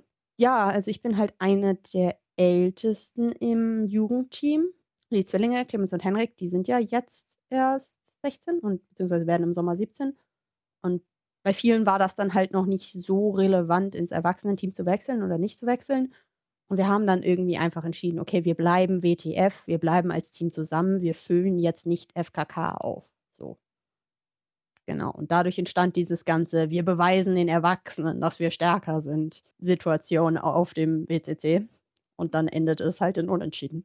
Und es war ein bisschen seltsam. Ich bin gespannt, wie es dann auf der nächsten WCC bei euch das äh, Spiel gegeneinander ausgeht. Da, da sind alle gespannt. Ähm, ein paar von den Erwachsenen haben jetzt schon Angst. Wir sind alle, also, also die Jugendlichen sind alle gehypt, die Erwachsenen sind alle ein bisschen vorsichtig. Mal schauen, wie es ausgeht es wird auf jeden Fall spannend. Und wir haben sozusagen so eine kleine Mini-Kampagne irgendwann gestartet gehabt und haben allen gesagt, sie sollen FKK mit WTF ansprechen, weil wir halt nicht mehr mit FKK angesprochen werden wollten und jetzt durchsetzen wollen, dass WTF das Kieler Erstteam wird. Dazu ist FKK zu bekannt in der Joggerwelt und WTF zu unbekannt. Aber ich kann das ja hier mit diesem Podcast in die Welt setzen. Mal schauen, was dann passiert. Der Algorithmus arbeitet aber gegen dich. Ja, leider. Äh, es ist nämlich so, dass äh, FKK-Videos aus Gründen, auf die wir mal nicht eingehen wollen, äh, unverhältnismäßig häufig geklickt werden. Also man kann ja über YouTube auch nachgucken, warum, also mit welchen Suchbegriffen sind die Leute da hingekommen. Und ganz viele Leute suchen FKK auf YouTube. Ja, also die, die, den Fehler, den habe ich noch nicht begangen weil ich mir vorher bewusst war, was passieren könnte. Deshalb suche ich immer nur nach den Gegnern. Also ich weiß, gegen wen sie gespielt haben und bin dann so, okay, gegen wen haben sie denn jetzt gespielt? Ähm du hast gerade eben schon die Schergen angesprochen. Ich wohne ja inzwischen in Münster und bin auch bei dem im Training und äh, beteilige mich auch am Training, an der Trainingsgestaltung und habe deswegen so ein bisschen tieferen Einblick inzwischen in die Schergen. Und die hatten ja ganz,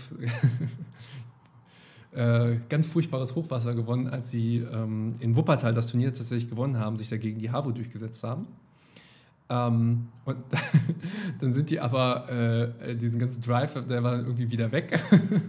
und sie sind, haben sich irgendwie so aufgeteilt, dass eigentlich die ganzen, was jetzt quasi die Stammspieler der, der, der Schergen bilden werden, sind dann quasi fast alle bis auf Luke und ich glaube Paul, wenn ich das richtig im Kopf habe, sind zu Schergen 2.0 gegangen. Und die Schergen 1 waren ja kein, also schon ein paar Söldner dabei, also Linus hat auf jeden Fall da gespielt dann auch Leute, die quasi gar nicht so in dem, in dem Trainingsplus drin sind und eigentlich eine total seltsame Konstellation. Die waren auch irgendwie, glaube ich, nur zu sechs oder zu fünft, waren dann auch ab nach dem zweiten Tag alle kaputt, keiner konnte mehr richtig spielen so. Und die haben sich auf Platz 16, 17 gesetzt oder so, keiner weiß wie, die haben das irgendwie durchgeprügelt. Völlig Banane. Und die 2.0er haben sich auch ganz okay platziert, aber weiß ich auch gerade nicht die Zahl. Von daher ist man in Münster mit der Turnierausbeute vom WCC sehr zufrieden. Okay, schön für die Münsteraner. Dann lasst uns noch ein bisschen auf das Drumherum vom Turnier eingehen. Es gab ja auch Merch zu holen. Das Ganze war frei für Zuschauer. Der Weg dahin war natürlich ein bisschen unzugänglich.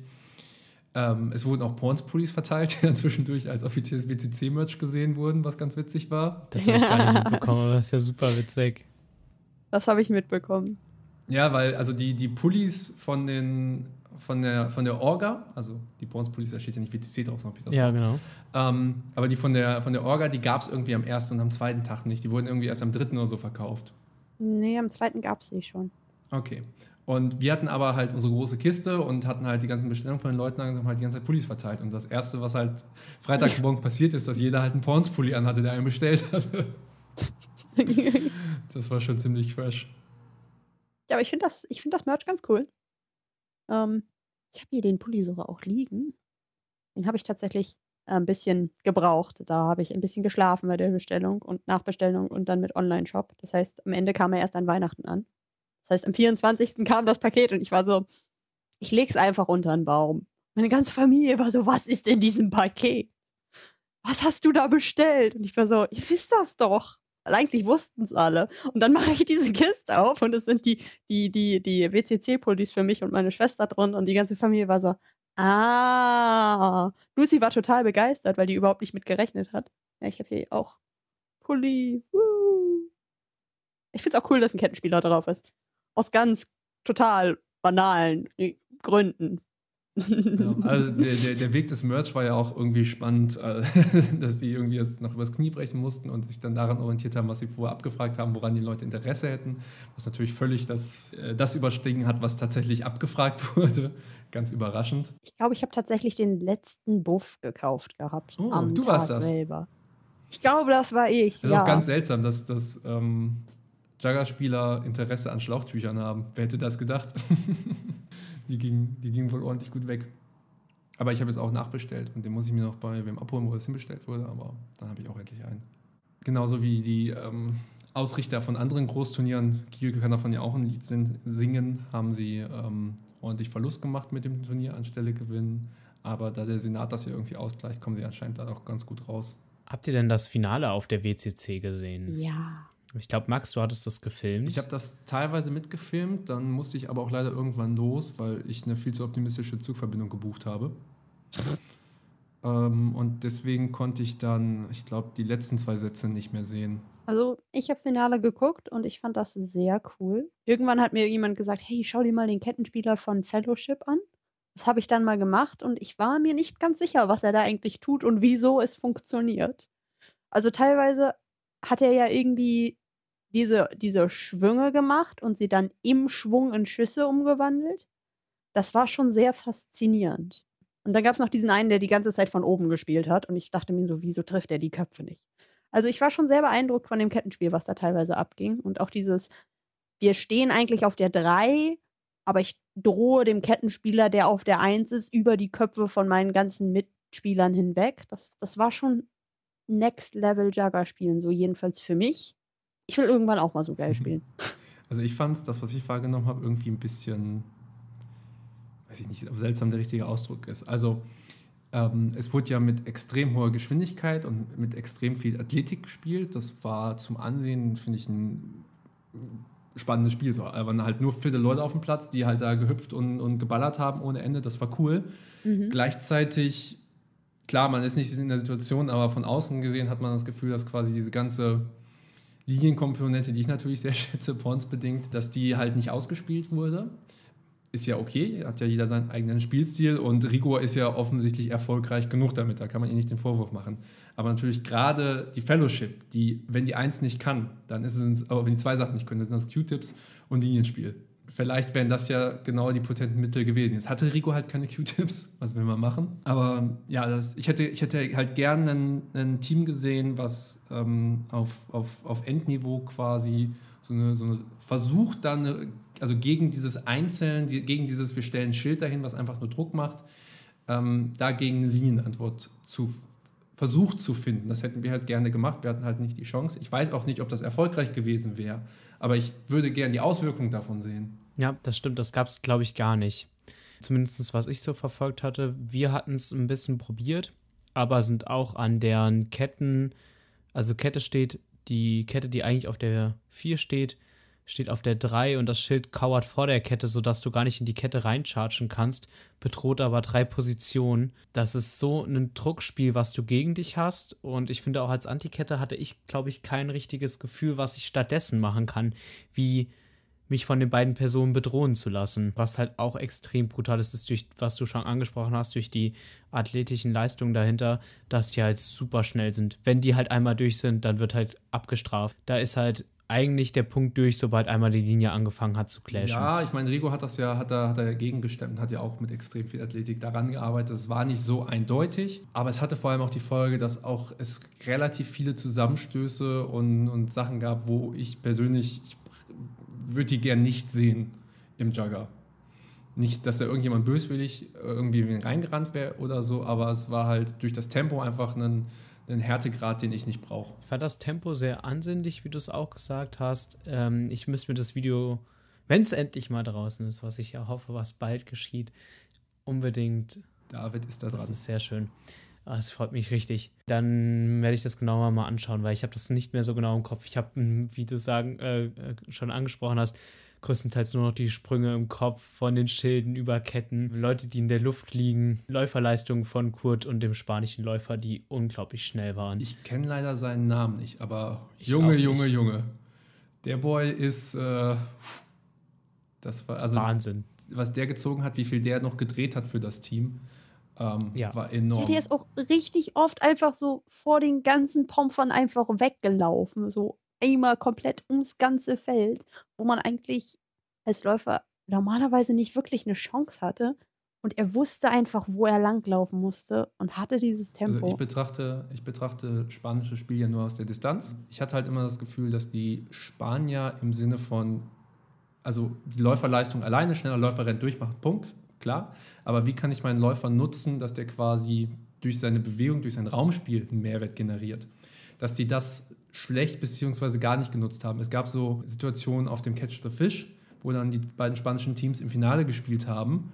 Und ähm, es war eine Pin-Situation und dann standen da die beiden Läufer und dachten sich einfach so, nö, ich mache, also ich weiß gar nicht, was ich machen soll. So, die haben gar keinen Angriffsvektor gefunden obwohl die halt offensichtlich da waren. Und deswegen scheint mir dieser Läufer, den jetzt die Fellowship dabei hatte, quasi insofern eine Ausnahmeentscheidung zu sein, dass der halt für sein Team einfach sehr gutes Raumspiel auch betrieben hat. Also klar, der ist auch durchgerannt, irre schnell, irre präzise gesteckt und so.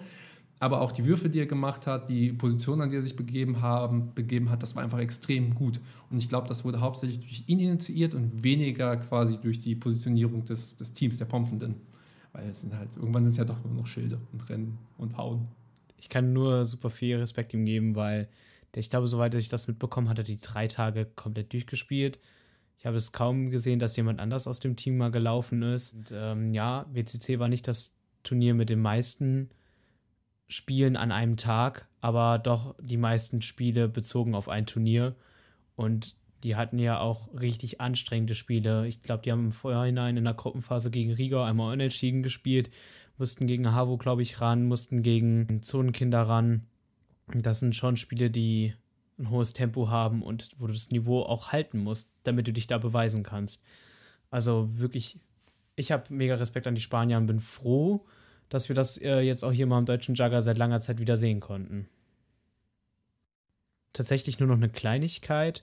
Ähm, ich baue ja tatsächlich einen großen Teil Pompen selber oder baue alle meine Pompen selber und habe an der WCT zum ersten Mal eine 1210er Langpompe gebaut. Also 1210er beschreibt immer die Kernrohrtdicke, 12 mm gibt das Außenmaß des Rohres an und die 10 mm das Loch des Rohres, sprich 1 mm Wandstärke und ein Gesamtdurchmesser von 12 mm. Das ist relativ dünn und ist mir aber nicht gebrochen, hat die komplette WCC durchgehalten, hält die letzten Trainings auch noch und spielt sich ganz eigenartig. Weiß noch nicht, ob es mir so gefällt, aber ja, hat die WCC drei Tage durch, gut durchgehalten. Dadurch wird die Pompe auch leicht gesamtkopflastiger, weil das Schwerste, was du ja eigentlich hast an der Pompe, ist die Stechspitze. Ja, und du sparst ja größtenteils am Gesamtgewicht der Pompe. Dadurch hast du auch manchmal das Gefühl, dass die Pompe schwerer ist als eine zum Beispiel 14-12er Langpompe.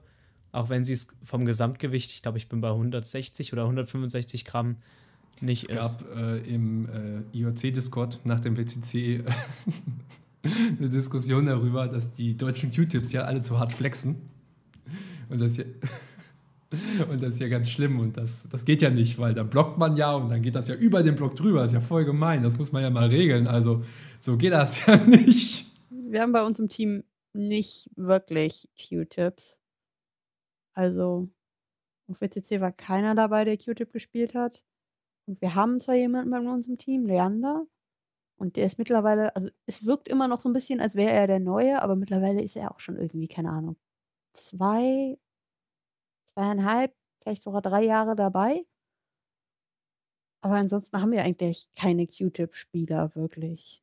Das ist ein bisschen schade, besonders wenn man halt irgendwie gegen Q-Tips spielt, die sehr guten Kettenblock machen oder so, weil man dann nicht wirklich so weiß, was mache ich jetzt hier eigentlich so genau. Weil man halt im Training nicht das nicht wirklich üben kann, weil halt kaum jemand Q-Tip spielt. Hab, ähm, bevor das Turnier losging, an dem Donnerstagabend noch mit einzelnen ähm, spanischen, also auch von den Fellowship-Spielern, aber auch anderen gepopft. Ähm, da war ja noch dieses offene Training ähm, auf dem äh, Rigor-Trainingsgelände am TEB. Ja, da habe ich da ein bisschen mit denen gepopft. Du hast halt auch einfach gemerkt, so die Stärken bleiben natürlich, aber also von den Schildspielenden, aber was man mit dem Q-Tip halt machen kann, eben, dass unklar ist, aus welcher Richtung der Angriff kommt, äh, wenn man das effektiv nutzt, dann ja, kippt das Verhältnis doch relativ leicht zum eigenen Vorteil. Sobald man sich aber zu sicher ist und zu nah rangeht, ist man natürlich direkt weg. Ne? Dann knallen die halt los und dann hat es auch mit dem Q-Tip keine Chance mehr. Aber das war so meine Hoffnung. So. Wir haben viele Q-Tips dabei gehabt. Wir haben auch ein paar, paar unorthodoxe andere Spielweisen ähm, in der Hinterhand gehabt, die wir jetzt gegen die Spanier hätten testen können, also gegen die Fellowship hätten testen können.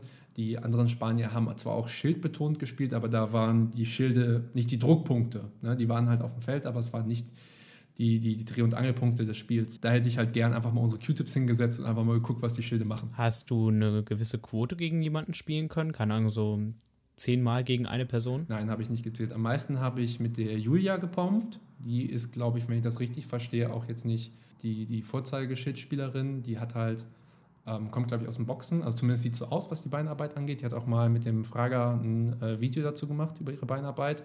Ist ein komplett anderes Konzept als, als es lebe, aber ist okay. Und die Kernpunkte waren aber die gleichen. Also du versuchst halt irgendwie den Fokus auf die eine Seite zu lenken und dann mit der anderen zuzuschlagen. Oder dann zuzuschlagen und dann doch wieder zu wechseln, als Q-Tip-Spiel halt, wie du es so machst. Und immer wenn ich zu nah rangegangen bin, war ich meistens ab, wenn man so denkt, so jetzt nochmal schön durch den Block durchschlagen, das klappt halt nicht, sondern du musst halt wirklich den, den Q nutzen. Und dann das ist meine Erinnerung, ich kann lügen, es wird irgendwas 70, 30, 60, 40 gewesen sein, keine Ahnung. Also es, es war keine 50, 50 und es war, es ging für mich aus. Aber wie viel es genau sind, kann ich nicht sagen. Und bei den anderen Schildspielenden kann ich es noch weniger abschätzen, weil wir dann weniger, also mit denen habe ich weniger gepumpt.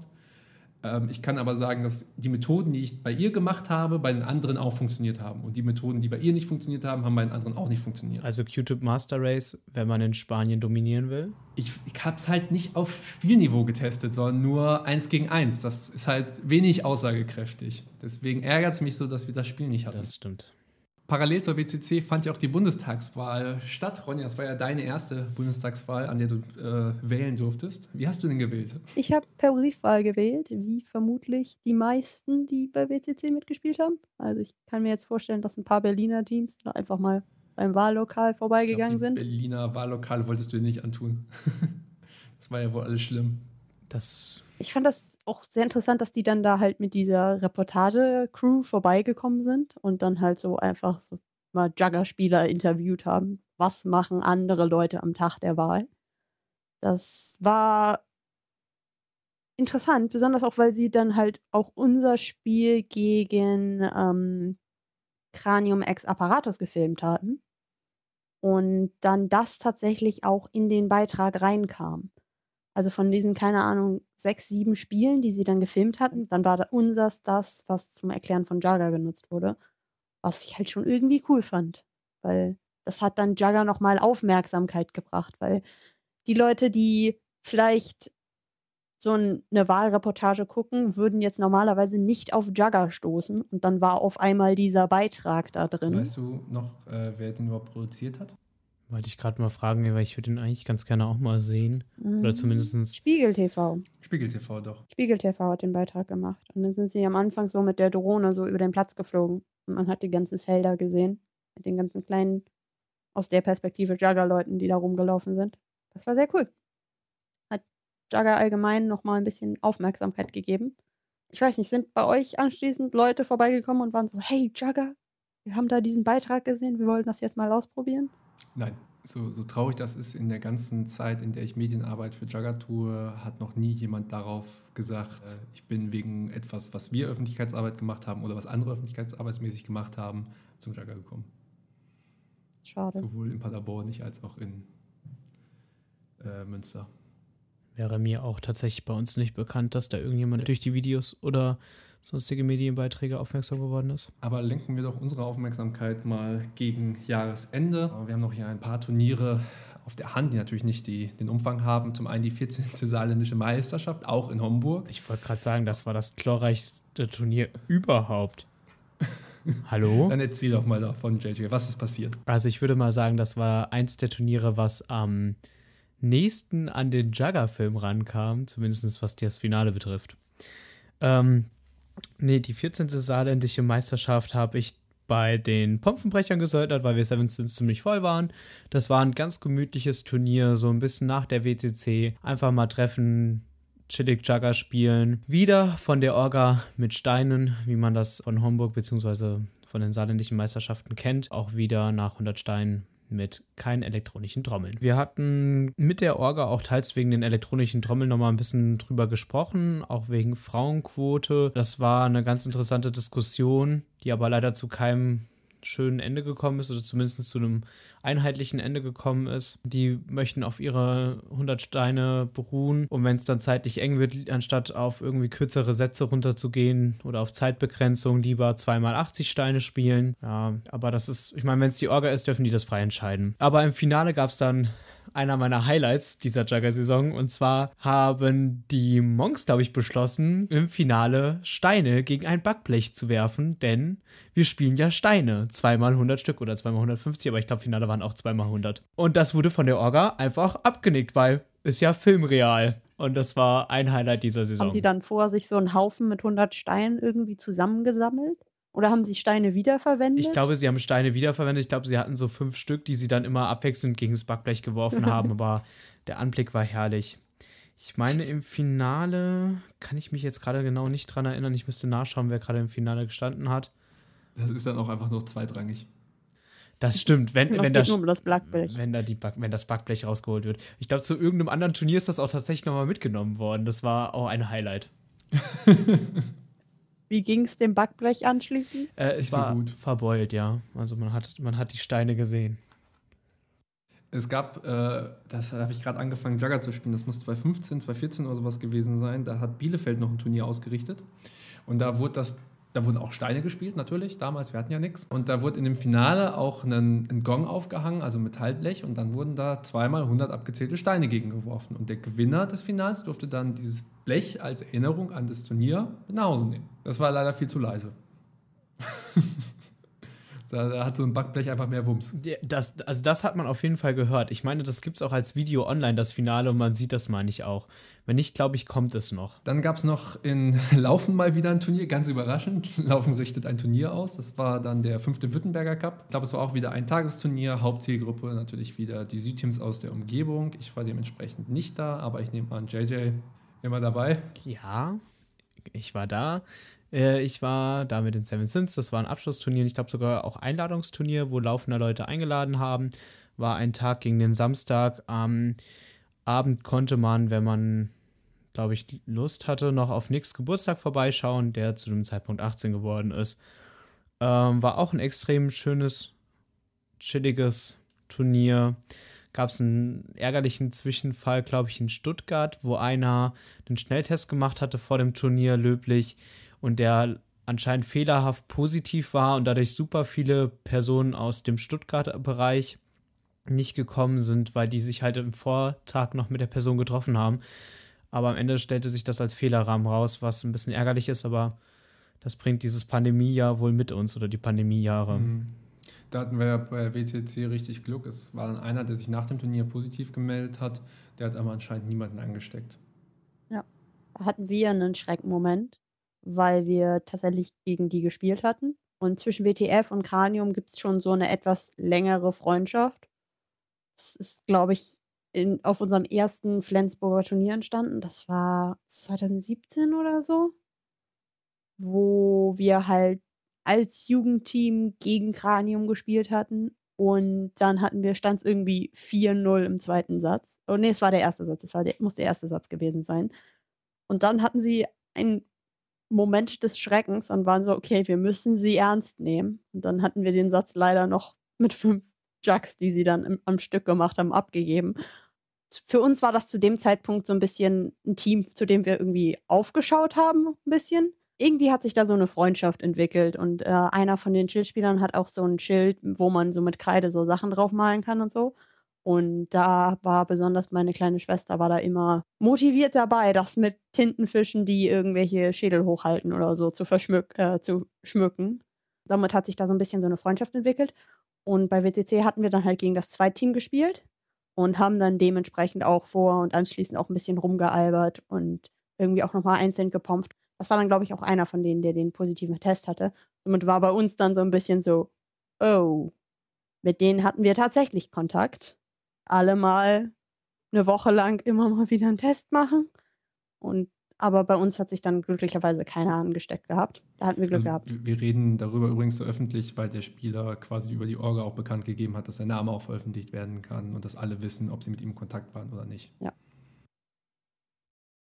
Da es immer noch an Sternloch-Puhnudeln mangelt und die Restbestände sich immer weiter leeren, habe ich mir Gedanken gemacht und habe am 5. Württemberger Cup am Tag davor und am Ende des Turniers mit einem Teil von den Münchnern Puhnudeln durchbohrt mit einer Durchbohrungsmaschine, die ich mir mittlerweile gebastelt habe, die auf verschiedene Kernrohrdicken Puhnudeln passend durchbohren kann. Und das ist schon extrem cool gewesen. Ich glaube, wir haben über zehn Puhnudeln durchbohrt. Also jede Puhnudel braucht, also kann, muss auf eine gewisse Länge zurechtgeschnitten werden, damit das vernünftig funktioniert.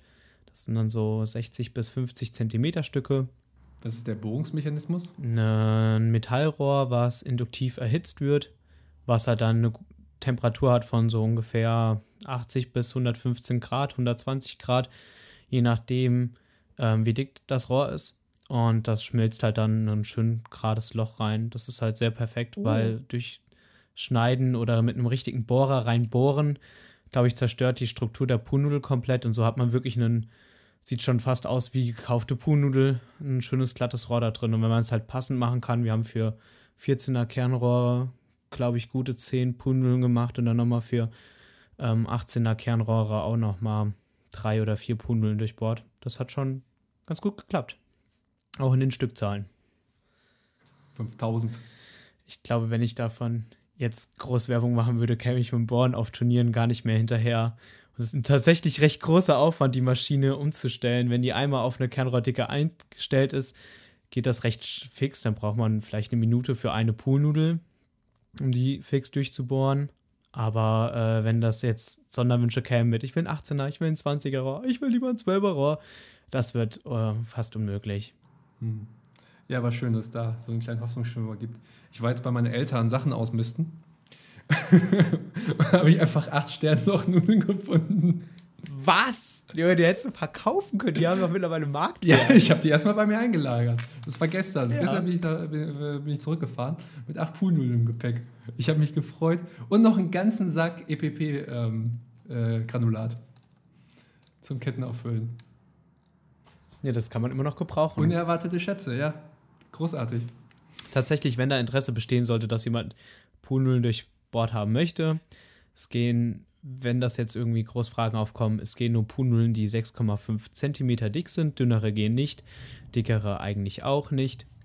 Ähm, ich werde nur eine Poolnull Lochgröße auf einem Turnier selbst durchbohren und vorher schreiben und ich werde dann pro Bohrung ungefähr einen kleinen Betrag nehmen oder einen Spendenbetrag, weil die Maschine selbst mit dem ganzen Induktionsheizgerät schon recht teuer war. Ich glaube, ich habe so um die 100 Euro oder so reingesteckt.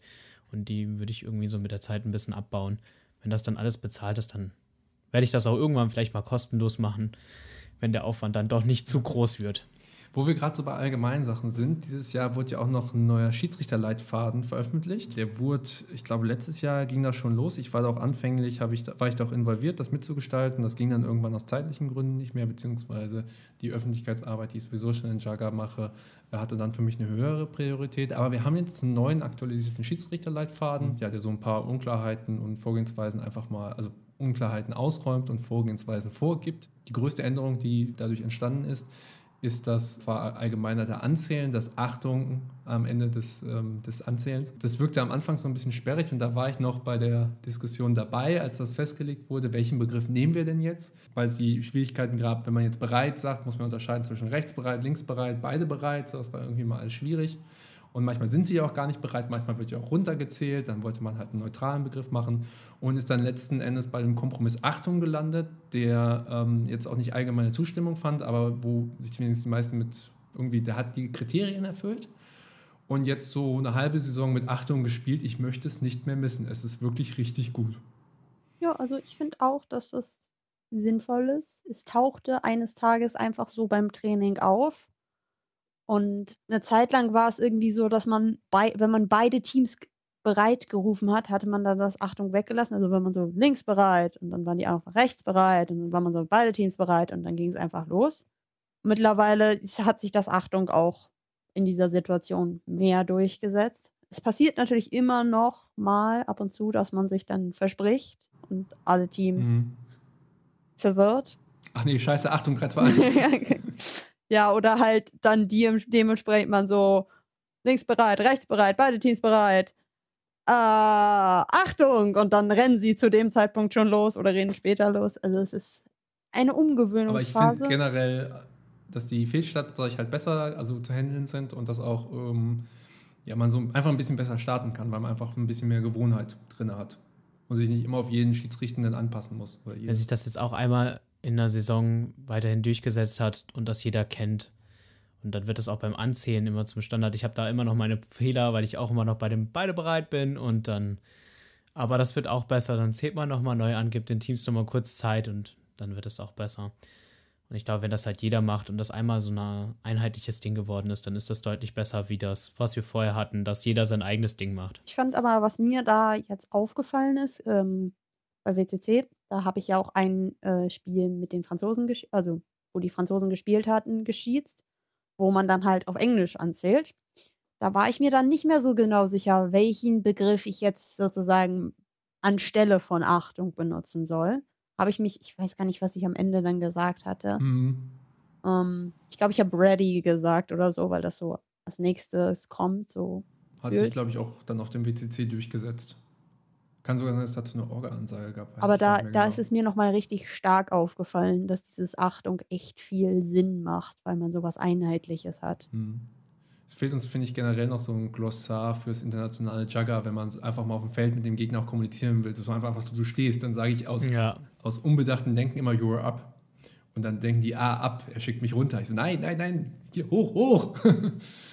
also ab Richtung oben, weil ja, Brainfart und so, das müsste man halt. Ja, bräuchte man Ja. auch mal einheitliche Begriffe, um da auch einfach so ein bisschen fehlerfrei zu kommunizieren. Aber gut, das wird sich ja, denke ich mal, jetzt einfach auch, weil die Community auch enger zusammenwächst, ähm, ergeben. Ich würde vielleicht noch ein paar Worte zu dem kleinen Flensburger Nikolausturnier sagen. Das war ähm, halt, wie der Name schon sagt, ein Nikolausturnier. Also das war ein Eintagesturnierchen an einem Samstag. Und es war dann halt tatsächlich so, dass wir gefühlt ähm, mit zwei Kieler Teams da angekommen sind.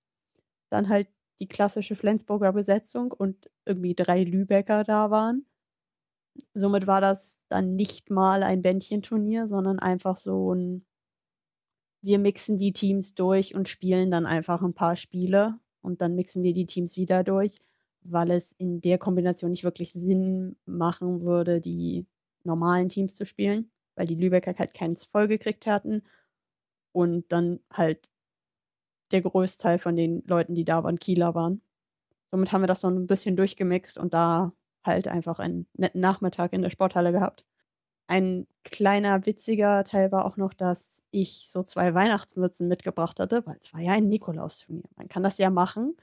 Und ich die dann halt immer so, immer Leuten gegeben habe. Und zwar so, hier setz mal auf, hier setz mal auf. Und irgendwie im Laufe des Turniers, ich weiß nicht wie, hat es sich durchgesetzt, dass die Schiris immer die Nikolausmützen aufsetzen müssten. Und wenn man die Nikolausmütze nicht aufhatte, man keine Autorität hatte. Das heißt, am Ende waren immer die Leute mit der Nikolausmütze, waren dann die Autoritätspersonen. Das fand ich eine sehr witzige ähm, Entwicklung. Und äh, das hat mich auch ein bisschen überrascht, weil ich damit nicht gerechnet hatte. Es gab, gab noch irgendwie ein paar andere. Also ich glaube, irgendjemand hatte so eine kleine Mini-Nikolaus-Haarklammer und dann gab es noch irgendwie einen Hut oder so. Das heißt, jeder von den vier Schiris hatte dann irgendeine Kopfbedeckung auf, wobei zwei davon halt diese Nikolausmützen waren. Dass das die Leute in Hagen nicht wissen, weil wenn die kurzen spielen, haben die alle Nikolausmützen auf, nur in Blau. Dann haben die alle Autorität. Da müssen wir aufpassen. Eine Entwicklung, die sich über die ganze Saison gezogen hat, ist, dass wir jetzt mehr Leute haben, die filmen. Also Pete von der, von der leeren Menge ist dazugekommen mit seinem Kanal Sassy Sunbird Productions. Ludwig auch Leipzig filmt auch. Jagger Clips, oder? Jagger Clips, genau. Manu filmt natürlich auch viel und extrem viel. Der hat ja jetzt irgendwie, glaube ich, drei Kamerasets, mit denen er irgendwie am Start ist. David hat Unterstützung bekommen von Finn, auch aus der, von der GAG. Der schneidet so ein bisschen was mit. Und ähm, ja, Porns machen ja auch weiter Content und Spielvideos und so. Äh, und ich finde es echt ganz angenehm, dass es jetzt einfach eine viel höhere Abdeckung der Spiele ist und ich mich zum Beispiel gar nicht mehr entscheiden muss, mache ich das Spiel oder das Spiel, weil ich weiß, okay, das andere wird halt von wem anders gefilmt. Das ist ziemlich cool. Und wir haben ja auch Manu in das Jagger Media Kollektiv aufgenommen. Der hatte, also die war schon immer ein enger Austausch mit allen, allen Medienschaffenden im Jagger. Und weil er dann halt auch nochmal quasi so ein bisschen seine Qualität gefestigt hat und da auch gesagt hat, ich würde gerne halt auch so ein paar Sachen investieren und geht das darüber ist er dann auch jetzt damit reingerutscht und liefert ja auch weiter ab. Ich glaube, der kann bis zum, bis zum Sommer nächsten Jahres in seinem Tonus Spielvideos hochladen. Das ist völlig verrückt. Ja, ich glaube, er bringt zwei Videos die Woche, wenn ich das richtig im Kopf von ihm habe. Irgendwie so, ich habe die Liste hier noch rumstehen. Er hat so einen so einen, so einen Plan, wie viel, wie viele Spiele er noch hat und dann halt durch die Anzeige teilt und so. Da kommen jetzt ja auch immer noch regelmäßig Spiele. Ich habe ja auch noch Spiele, die sich im Schnitt befinden. Da kommen wir, glaube ich, mit durch den Winter. Auch wenn die Turniere eher rar sind. Das ist was, was dann wieder auf der WCC recht gut aufgefallen ist. Wenn das so groß ist und so viele Teams da ist, gibt es doch irgendwie zu wenige, um alle Spiele zu filmen. du hast halt keine Chance, weil ähm, die Leute, die filmen, spielen ja auch. Und dann hört es halt irgendwann bei so einem Turnier auf. Die Franzosen haben Ja, einen Livestream total. gemacht. Oh, ich weiß aber gerade nicht, wie der Twitch-Kanal heißt. Aber es ist halt auch nur in, in Grenzen. Und die, das eine spanische Team, die einen Sponsor haben, die haben auch irgendwas gemacht. Deswegen habe ich die nicht gefilmt, weil die dann halt nur gefilmt werden dürfen, wenn sie einen Sponsor präsentieren. Und ich mache keinen Sponsoren. Deswegen habe ich das leider nicht gefilmt. Aber so insgesamt schon viel. Ich hatte noch mal so eine allgemeine Frage für Jugger-Videos und so. Es wurde ja beim WCC auch angekündigt, dass jetzt irgendwann demnächst dieses Jugger-Tube online kommt. Gibt es da irgendwelche Informationen, wie weit das in Produktion ist? Es kann sogar sein, dass wenn wir den Podcast hier veröffentlichen, dass dann JuggerTube schon online geschaltet ist. Ähm, ich bin dabei, mit äh, Nadine ein, ein Erklärvideo zu machen. Also ich bin da nicht großartig dran an der, an der Konstruktion von Jagatube beteiligt. Ich liefere Daten zu und betreue das so ein bisschen mit. Und es gibt schon eine funktionsfähige Version, die wird aber halt noch verbessert und halt noch so ein paar Sachen, wie das dann Impressum rein muss und so.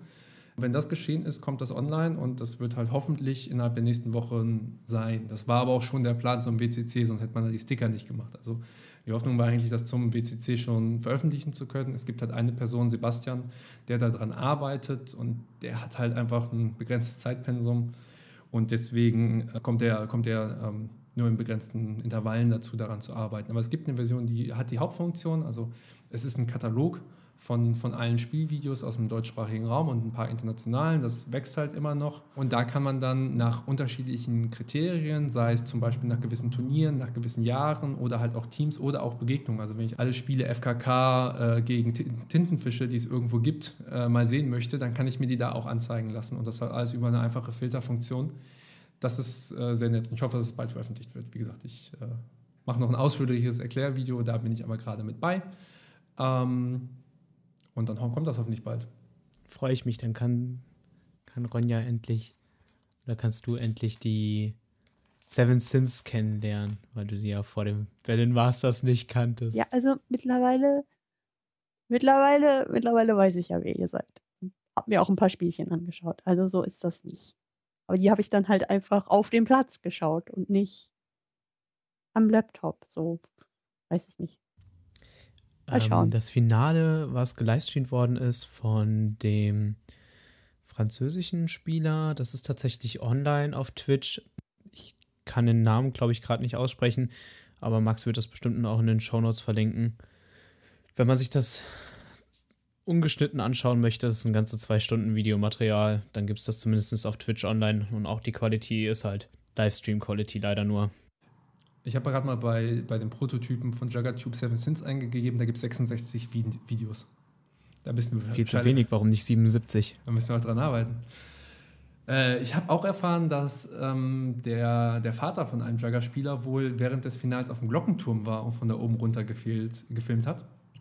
Und diese Aufnahmen stehen auch David zur Verfügung.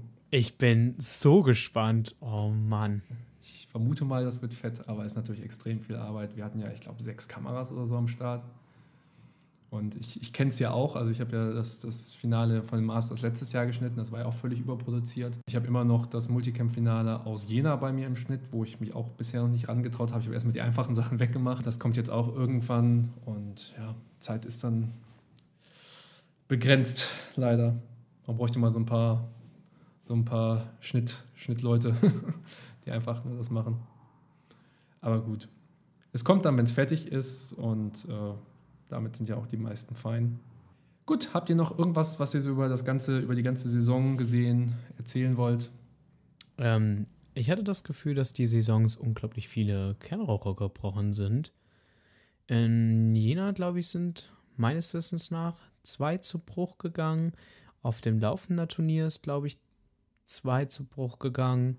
Ich glaube sogar mehr. Also es ging ja damit los, damit dass äh, Luke äh, sich eine Pompe von Jonas geliehen hat und äh, die erstmal schön im dritten oder vierten Spielzug zerstört hat, sich dann noch schön das Kernrohr in den Arm gerammt hat. Oh ja, stimmt. Oh.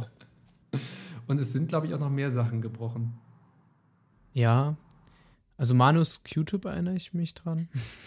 Das ist schon zumindest jetzt die letzten Erfahrungen nach ein relativ hoher Schnitt. Es gab die Vermutung, dass das quasi, das ist ja alles RG-Bestellung, dass das quasi alle aus einem schlechten Batch kam und dass sich jetzt quasi so, so rausgefiltert hat, weil beim WCC gab es doch relativ, also dafür es so ein großes Turnier war und sich so viele Leute verletzt haben, gab es wenig Pompenbrüche. Die Vermutung hatte ich auch. Ein anderer Teil war einfach durch das durch den ähm, Winter, wo es keine Turniere gab, dass einfach die Leute auch nicht mehr so gewohnt waren, ihre Pompe so zu spielen, wie sie sie sonst spielen und andere Schlagtechniken teils ausprobieren oder mit einer anderen Elan wieder in die Spiele reingegangen sind.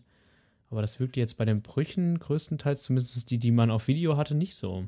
Ja, also das, was ich mitgekriegt habe, war auch wirklich einfach Materialversagen und gar nicht für Fehlbenutzung. Das ist natürlich ehrlich, wenn du, äh, ärgerlich, wenn du so ein 35 Euro Kernrohr hast, plus dann noch Segeltape, plus Puhnudel, plus andere Kleinigkeiten, sprich ungefähr 40 Euro, 50 Euro mal eben einem Schlag vernichtest. Ja. Gleichzeitig habe ich aber auch neulich im Training, was ich nicht hätte tun sollen, mich mit dem ganzen, also ich habe Schild gespielt und mich mit dem ganzen Gewicht auf eine Pompe gelehnt, die ich halt am Boden fixieren wollte. Und die hat es gehalten. Also, das, äh, das kann schon. Ja, das Material kann schon. Aber klar, was die Bedingungen sind, dafür sind wir, ist das ein wenig, wenig abgesteckter Rahmen, als dass wir da wirklich herausfinden könnten, auf die Schnelle, woran es liegt. Ja, dann würde ich das Ganze zum Abschluss bringen. Ich weise noch darauf hin, dass es dieses Jahr keine Regelwahl gibt, die wird ausgesetzt. Es wird aber auch gleichzeitig ein oder eine neue Regelhütende gesucht. Auch gesucht wird jemand, der die DM im nächsten Jahr austragen kann. Äh, für beide Sachen darf man sich gerne im Forum melden, wenn man da Bedarf hat. Ansonsten habe ich das Gefühl, dass, es, dass wir gerade so ein bisschen im Umbruch sind. Es gab ja eine, immer mal wieder ja, Mixteams, die sich gegründet haben oder die sich zusammengefunden haben. Und jetzt hat sich das, finde ich, durch das, durch das Pandemiejahr so ein bisschen herausgefiltert. Und ich erwarte, dass wir im nächsten, nächsten Jahr so ein paar festere Bindungen äh, sehen, was so ja, diese, diese Mixteam-Gestaltung angeht und natürlich auch ein paar reguläre Transfers. Das denke ich auch, dass sich das in den nächsten Jahren wieder festigen wird. Ist irgendwie mal schön zu sehen, aber irgendwie finde ich es doch ganz gut, wenn man weiß, auf welche Person man trifft, wenn man in ein Spiel startet. Dann kann man sich ein bisschen darauf vorbereiten. Aber natürlich macht die Abwechslung das auch irgendwie ganze, das ganze Thema Söldnern wieder sehr spannend. Ja, dann bleibt mir gar nicht mehr viel zu tun, als euch für die Teilnahme am Podcast zu danken. Danke JJ, danke Ronja, dass Sie das mit mir gemacht haben. Wir sind jetzt lang genug dabei. Ich danke allen Zuhörerinnen und Zuhörern fürs Zuhören und ja, wir sehen uns alle in irgendeiner Form in der nächsten Saison wieder. Danke Max für die Einladung und ja, würde sagen, bis auf den nächsten Juggerfeld. Ja, ich wollte auch nochmal für die Einladung danken. Das war sehr schön. Dann lasst uns alle gemeinsam ballern, bügeln und laufen lassen.